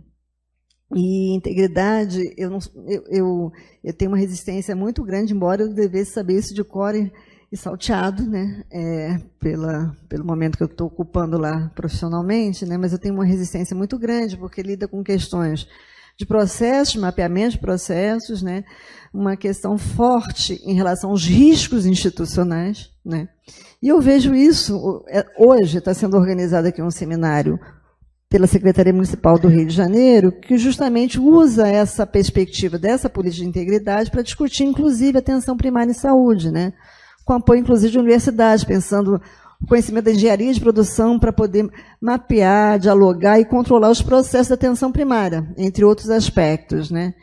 Então eu queria saber se vocês, assim, né, quem já teve contato com essas questões, né, de uma política que pretende controlar a questão da corrupção, por exemplo, a imagem institucional e a questão do cuidado em saúde, porque é, é, isso que em algum momento, não lembro, acho que talvez o Eduardo tenha pontuado a questão da crise, né, assim, do, do, da proposta que a gente teve aqui no município de reorganização da PS, ela trabalha uma metodologia, uma metodologia de produção, Lean, né? enfim. Né? E se vocês já, já, já experimentaram nos seus espaços de trabalho, né? o Rafael com certeza, mas não sei se sim, o grupo já ouviu falar disso e dessas aplicações dessa ideia, dessa política de integridade, é, o risco institucional e o impacto no cuidado da saúde. Não, não sei se eu fui clara aí, né? É.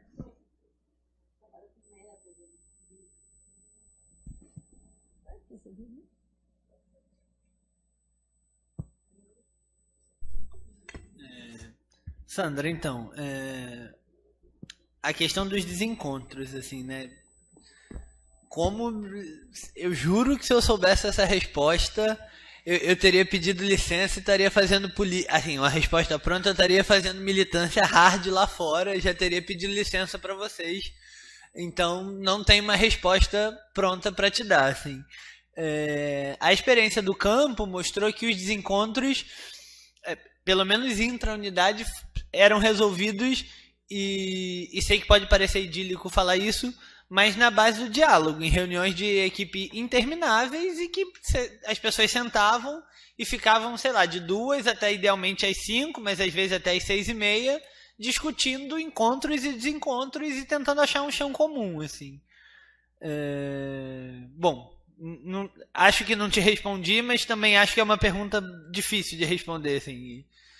É, Luciana, a questão de poder está é, tá colocada, assim, é óbvio que a gente está colocada inclusive do ponto de vista econômico, assim, porque de um lado você tem profissionais que ganham, sei lá, mil e poucos reais e do outro lado você tem profissionais que ganham 10 mil, assim.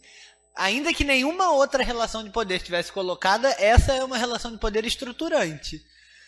É de todo modo, assim, sobretudo porque as equipes que eu acompanhei eram as equipes em que as agentes eram agentes mais estabelecidas, portanto estavam atuando há mais tempo, também havia um, um, uma dialogicidade com, com a questão do poder. Então, é verdade que tem uma certa centralidade no médico, mas do outro lado tinha agente comunitária de saúde que eram agentes desde a época que o sujeito entrou na graduação em medicina. Então, assim, é, peraí, é verdade, você é médico, mas eu faço isso aqui, é, sei lá, você ainda era um adolescente.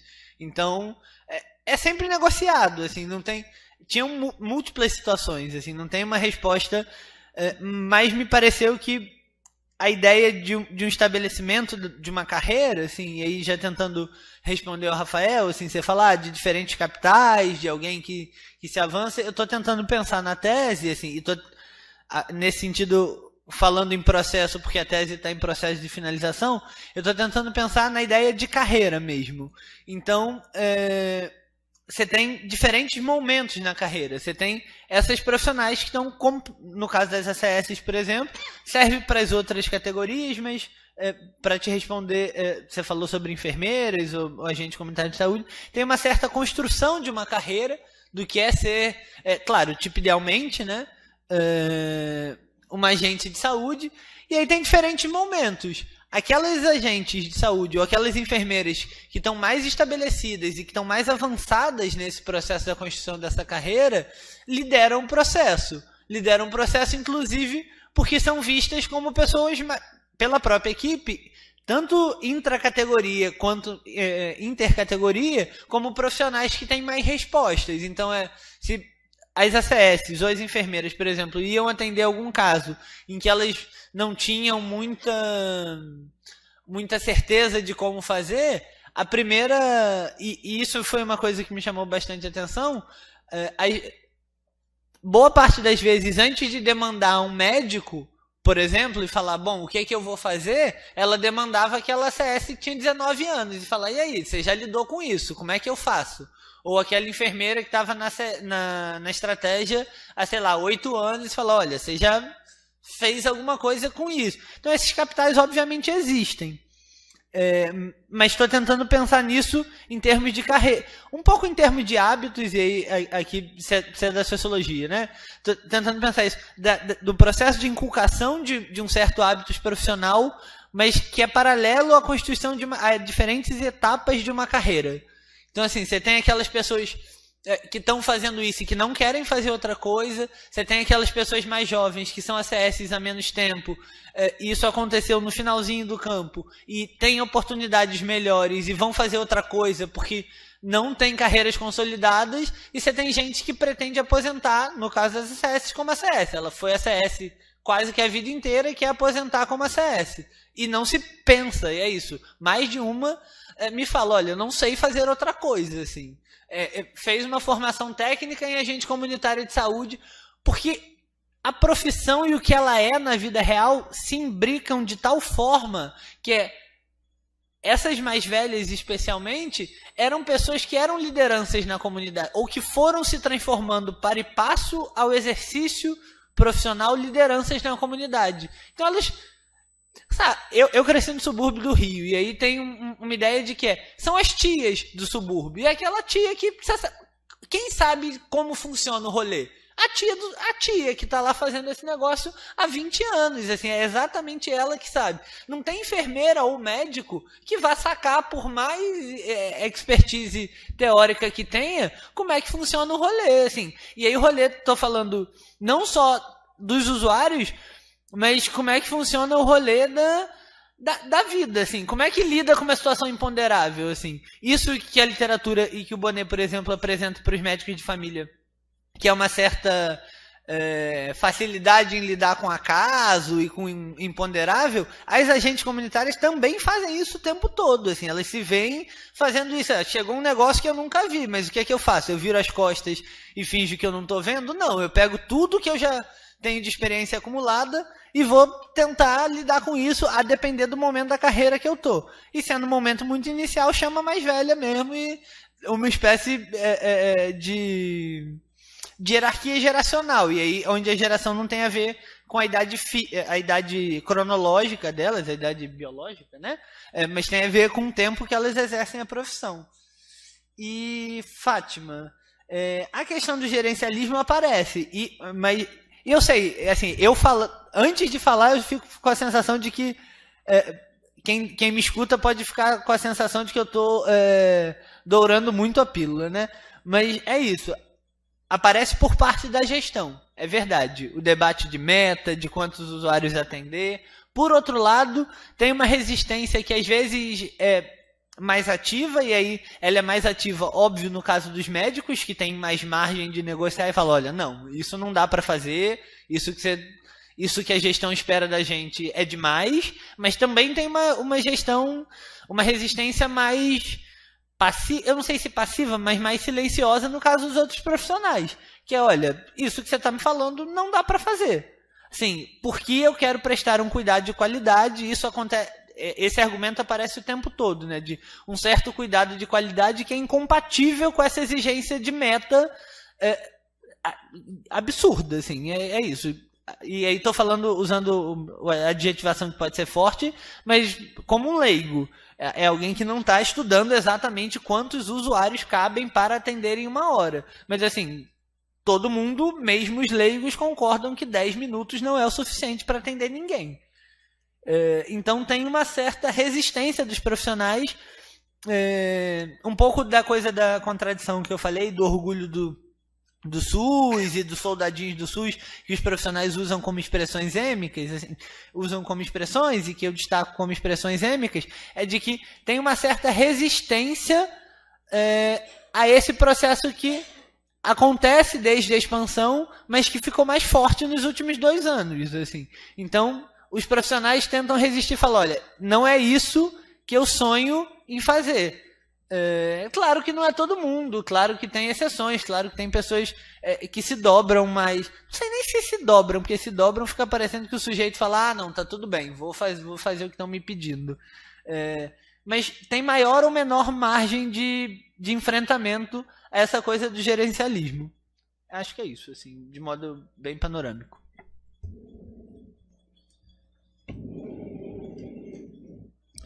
Estava pensando na pergunta da, da Sandra, pensando quais são as possibilidades de conversa, né, que a gente efetiva dentro dos serviços, né. Acho que nesse serviço que eu fiz a pesquisa era um serviço que também tinha residência multiprofissional, então tinha uma questão de formação implicada, enfim, e eles toda quinta-feira à tarde destinavam para reunião de equipe, metade da tarde para reunião de equipe, metade para formação continuada, que eles chamavam, né? Tanto que vários momentos da pesquisa, eu, eh, a devolutiva que eu fiz ao longo de algumas semanas foi nesse momento da, da formação continuada, assim por diante. Já inserido no processo de trabalho da equipe, era um, espaço muito, para essa equipe era muito potente, não era reunião como algo burocrático, era tinha uma potência na, na, no modo como a equipe constituiu. Assim como eu já vi situações de equipes onde a reunião, eu lembro uma situação de estágio que a gente foi negociar, a gente pediu para marcar uma reunião e as pessoas olharam meio torto, e aí depois eu fui entendi que naquele serviço só tinha reunião quando alguma coisa dava errado. Aí o gestor chamava, vamos fazer uma reunião e era para dar um, né? Não sei como é que fala isso educadamente. Né? Era para dar um, vocês entenderam, né? Era para xingar alguém, era para tinha humilhação, é, assim, era uma coisa como é que você fez aquilo na frente de todo mundo? Era uma coisa muito vexatória, assim, né? A gente foi entender nesse outro lugar que reunião tinha esse sentido não era legal. Né? Então daí a gente entendeu porque quando eu cheguei lá de um lugar que a reunião era isso, propondo reunião, e aí a reunião era outra coisa, né? Então assim, não, eu, depende muito de contexto, né? não tem uma fórmula, assim, eu não sei como é que é o teu contexto, né, para pensar isso, né? É, não, mas eu entendo porque é, é angustiante e porque eu acho que está muito pouco presente na, no cotidiano uh, do, dos profissionais espaços de conversa, pactuação. Tem conceito na saúde mental que a gente usa da contratualidade, né?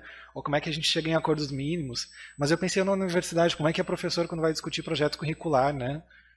Não é fácil, não sei se aqui é, né? Mas assim, eu entrei em 2011 na universidade e disseram, ah, você vai coordenar o processo de reformação curricular, né?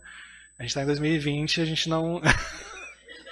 a gente fez mudanças por dentro do mesmo currículo, né? Propus estágio integrado contra professor, a gente foi fazendo mudança por dentro, mas o, o currículo formal permaneceu o mesmo, né? Então, assim, mas a gente foi tentando estabelecer espaços de, tal, tá, o que, que é o mínimo possível? Vamos fazer a mudança por dentro e ver como, onde é que a gente conversa, né? Mas eu acho que no serviço está muito. Uh, eu acho que a discussão. Tem discussão, por exemplo, do quadrilátero da formação, né? Pensar os quatro eixos, né? Eu acho que ajuda a pensar. A gente está muito direcionado para assistência, né? Assistência direta ao usuário. Eu tenho um aluno que se formou, entrou numa equipe, passou num concurso público na região de, de Curitiba para uma equipe de NASF, né? E eu, ele vem conversando comigo para tentar entender esse início de atuação. Um dia eu falei, ah, tenta registrar tal coisa para fazer uma gestão da clínica, entender os casos que estão chegando, o que, que vai para grupo e tal. Disse, ah, mas eu chego em casa tão cansado que eu não, não, não consigo fazer isso. Digo, mas não estou falando para te chegar em casa e fazer, estou falando para o teu trabalho fazer isso. Né? Então a ideia de que o trabalho é só atender, acho que é um desafio um pouco isso, assim, construir esses espaços de pactuação e pensar sobre o trabalho, né? Que a gente ainda tem tem que quebrar bastante, né? É, da descontinuidade dos vínculos que ele perguntou, na minha pesquisa eu senti isso mais em relação aos profissionais de nível superior. Porque era uma, como tinha um instituto que coordenava atenção, grande, grande parte dessa atenção primária nessa região, o que acontecia? Abria uma vaga numa ESF, eles chamavam o profissional da lista. Ele entrava, mas não era, ficava longe de onde ele morava, ou por exemplo, tem gente que mora na Zona Sul e aí ficava atendendo nessa unidade, era é totalmente fora de rota, assim, é um negócio meio, né? Então também a gente fala de territórios, os profissionais também querem às vezes morar num lugar que também tenha uma proximidade, enfim. Então esse profissional fica porque ele quer a vaga, mas já entra numa lista para remoção para o lugar onde de, de fato ele quer. Então, até que tenha uma acomodação de fato, leva muito. Tem equipes que acabam sendo muito equipes assim que ninguém mora próximo, então fica essa rotação muito constante. Mas nas agentes comunitárias não tinha muito essa relação. Porto Alegre agora está vivendo esse momento de novo, de, do governo atual querer mudar a, é, esse instituto, que é o IMESF, para outras organizações sociais. Enfim, está uma discussão bem intensa lá agora sobre esse processo. Parece que foi movido por uma ação que algum sindicato profissional entrou, na expectativa de que a prefeitura pudesse abrir concursos, e o efeito acabou se revertendo contra. Não, então vamos tirar esse instituto e colocar outras organizações sociais. Vai, a tendência é precarizar ainda mais. É, da descontinuidade. Das... Foi engraçado quando a, a Fátima perguntou da, sobre essa questão, eu fiquei pensando no meu trabalho, depois opa, não, é, é dos usuários, né? Porque na universidade a gente ao menos vem passando por discussão nos últimos anos sobre a questão de carga horária, sala de aula, de que professor, ah, pesquisa extensão, parece que se não está na sala de aula não está. Então assim a gente tem feito as últimas greves, uma das mobilizações foi isso, assim, de ah não, a gente vai aumentar a carga horária sala de aula na lógica meio privada que é né, o professor é estar em sala de aula, né, tirar horas de pesquisa. Até agora permane tem permanecido, a gente com uma série de mobilizações tem mantido, mas acho que tem uma implicação quando eu penso esse trabalho, o que é fazer essas pesquisas que a gente faz, né? Eu não estou falando de uma pesquisa que é ir lá fazer entrevista, cara, acompanhar um processo, trabalhar com pesquisa e intervenção, eu tenho trabalhado com processo também de as pesquisas sempre são vinculadas a algum processo de. Teve uma pesquisa essa da aluna que eu falei, gente, como desdobramento da pesquisa, a gente fez uma formação com os trabalhadores. A gente propôs um pouco diferente, propôs uma devolutiva da pesquisa e depois um processo de formação. A gente negociou junto com a regional. Enfim. Isso é super trabalhoso de, de fazer. Não é um processo simples. Trabalhar com extensão, trabalhar com.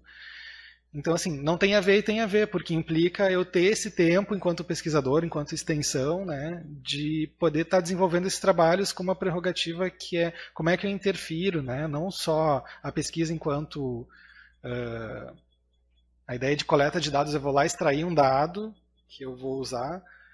Uh, tem uma coisa, um autor que fala da pesquisa meio canibal, assim, né? Meio que, dessa coisa que extrai o dado e tá, mas o que, que fica ali no campo, né? O que, que a gente propõe, enfim. Então acho que não tem a ver, mas tem nesse nesse sentido. Né? É, é uma luta constante para a gente manter o, o que tem nesses tempos. Mesmo numa realidade, eu sou universidade estadual, mas todas as propostas das universidades federais vão tendo reflexos, né, enquanto política. Acho que a situação que acontece no Rio e no Rio Grande do Sul, enquanto Estado, não sei se vocês sabem a situação no Estado do Rio Grande do Sul, servidores há mais de dois anos têm recebido salário parcelado. Então agora eles estão recebendo o salário parcelado de não sei qual mês, e vai recebendo assim, no dia 10 do mês entra não sei quanto por cento do salário, daí no dia 20 entra mais um pouco, no dia 30 essa é a situação hoje do Rio Grande do Sul. Não sei aqui como é que tá, a gente ouve um pouco falar da UERJ, e a gente pensa assim, ah não, então o Paraná está bem, é um estado rico, mas daí eles usam esse estado para dizer, a gente não quer virar o que... Então a gente tem que adotar as, as medidas de restrição antes que chegue nesse estado. Olha que loucura, né? Assim, o... A USP também eh, tem se falado muito da, da, da única dessas situações, né? Não, é, é meio pre, é uma situação pre, preventivamente a gente vai fazer, adotar algumas medidas, né? Então, enfim, é, é uma luta nesse cenário de crise é difícil escapar, a gente vai tentando resistir, né? Não, só é, queria reforçar o apelo da Liliane, né? eu acho que é importante a gente está atento às populações invisíveis, né? É, nos anos 90, por exemplo, a gente foi fazer uma pesquisa sobre é, vulnerabilidade e cuidado de mulheres vivendo com HIV, né? E era uma coisa impressionante, por exemplo, como isso felizmente já mudou, né? Quando as mulheres iam no serviço como gestantes ou candidatas à gestação, ou seja, tratar de algum assunto sobre saúde é, sexual e reprodutiva, ninguém pensava em AIDS. Né? Era gestante. Né? E ao contrário, as mulheres que estavam em segmento pelo HIV e tal, ninguém pensava na gestação delas. Né? Era uma completa invisibilidade. Então eu acho que essa população também que está invisível nas, na questão específica do AIDS, muito invisível ainda. Já foi mais, mas ainda continua sendo. Né? É, a diversidade dos valores, nós comentamos no almoço, é um choque. Eu estava você estava falando, estava lembrando, eu fui digamos, criado na atenção primária no Centro de Saúde Escola do Butantã, que é um centro de saúde escola ligado à USP, né? E, e, com um grupo de funcionários altamente politizados, inclusive até estigmatizados pela Faculdade de Medicina por serem extremamente ativos, combativos e tal, né? Aí quando se expande o ensino da atenção primária tal, a gente começa a ir para a rede, né? E aí, na, no, no, ano eleitoral, né, eu encontro os agentes comunitários de saúde, os funcionários bolsonaristas no último, assim. Para mim aquilo era um nonsense total, né? Então, assim, é, é, de fato, mas eu concordo, acho que o final da, da fala, Rafael, diálogo, diálogo, diálogo pode parecer uma coisa, mas é a saída, não tem jeito, né? A gente vai ter que fazer isso, né? E aí, isso está implicado na outra questão, né, das relações de poder, e descentralização, né? É, o Richard colocou aqueles três planos, eu acho muito útil para a gente pensar. Né? Tem o plano macroestrutural, né? E que até comentava com ele no final. A gente está num momento em que o problema da democracia não é só que a democracia esteja é, frágil. A democracia hoje ela é estruturalmente antagônica ao projeto econômico dominante. A democracia já foi estruturalmente necessária para o capitalismo. Hoje ela não é mais necessária para o capitalismo. Ela é, ao contrário, uma pedra no sapato. Né?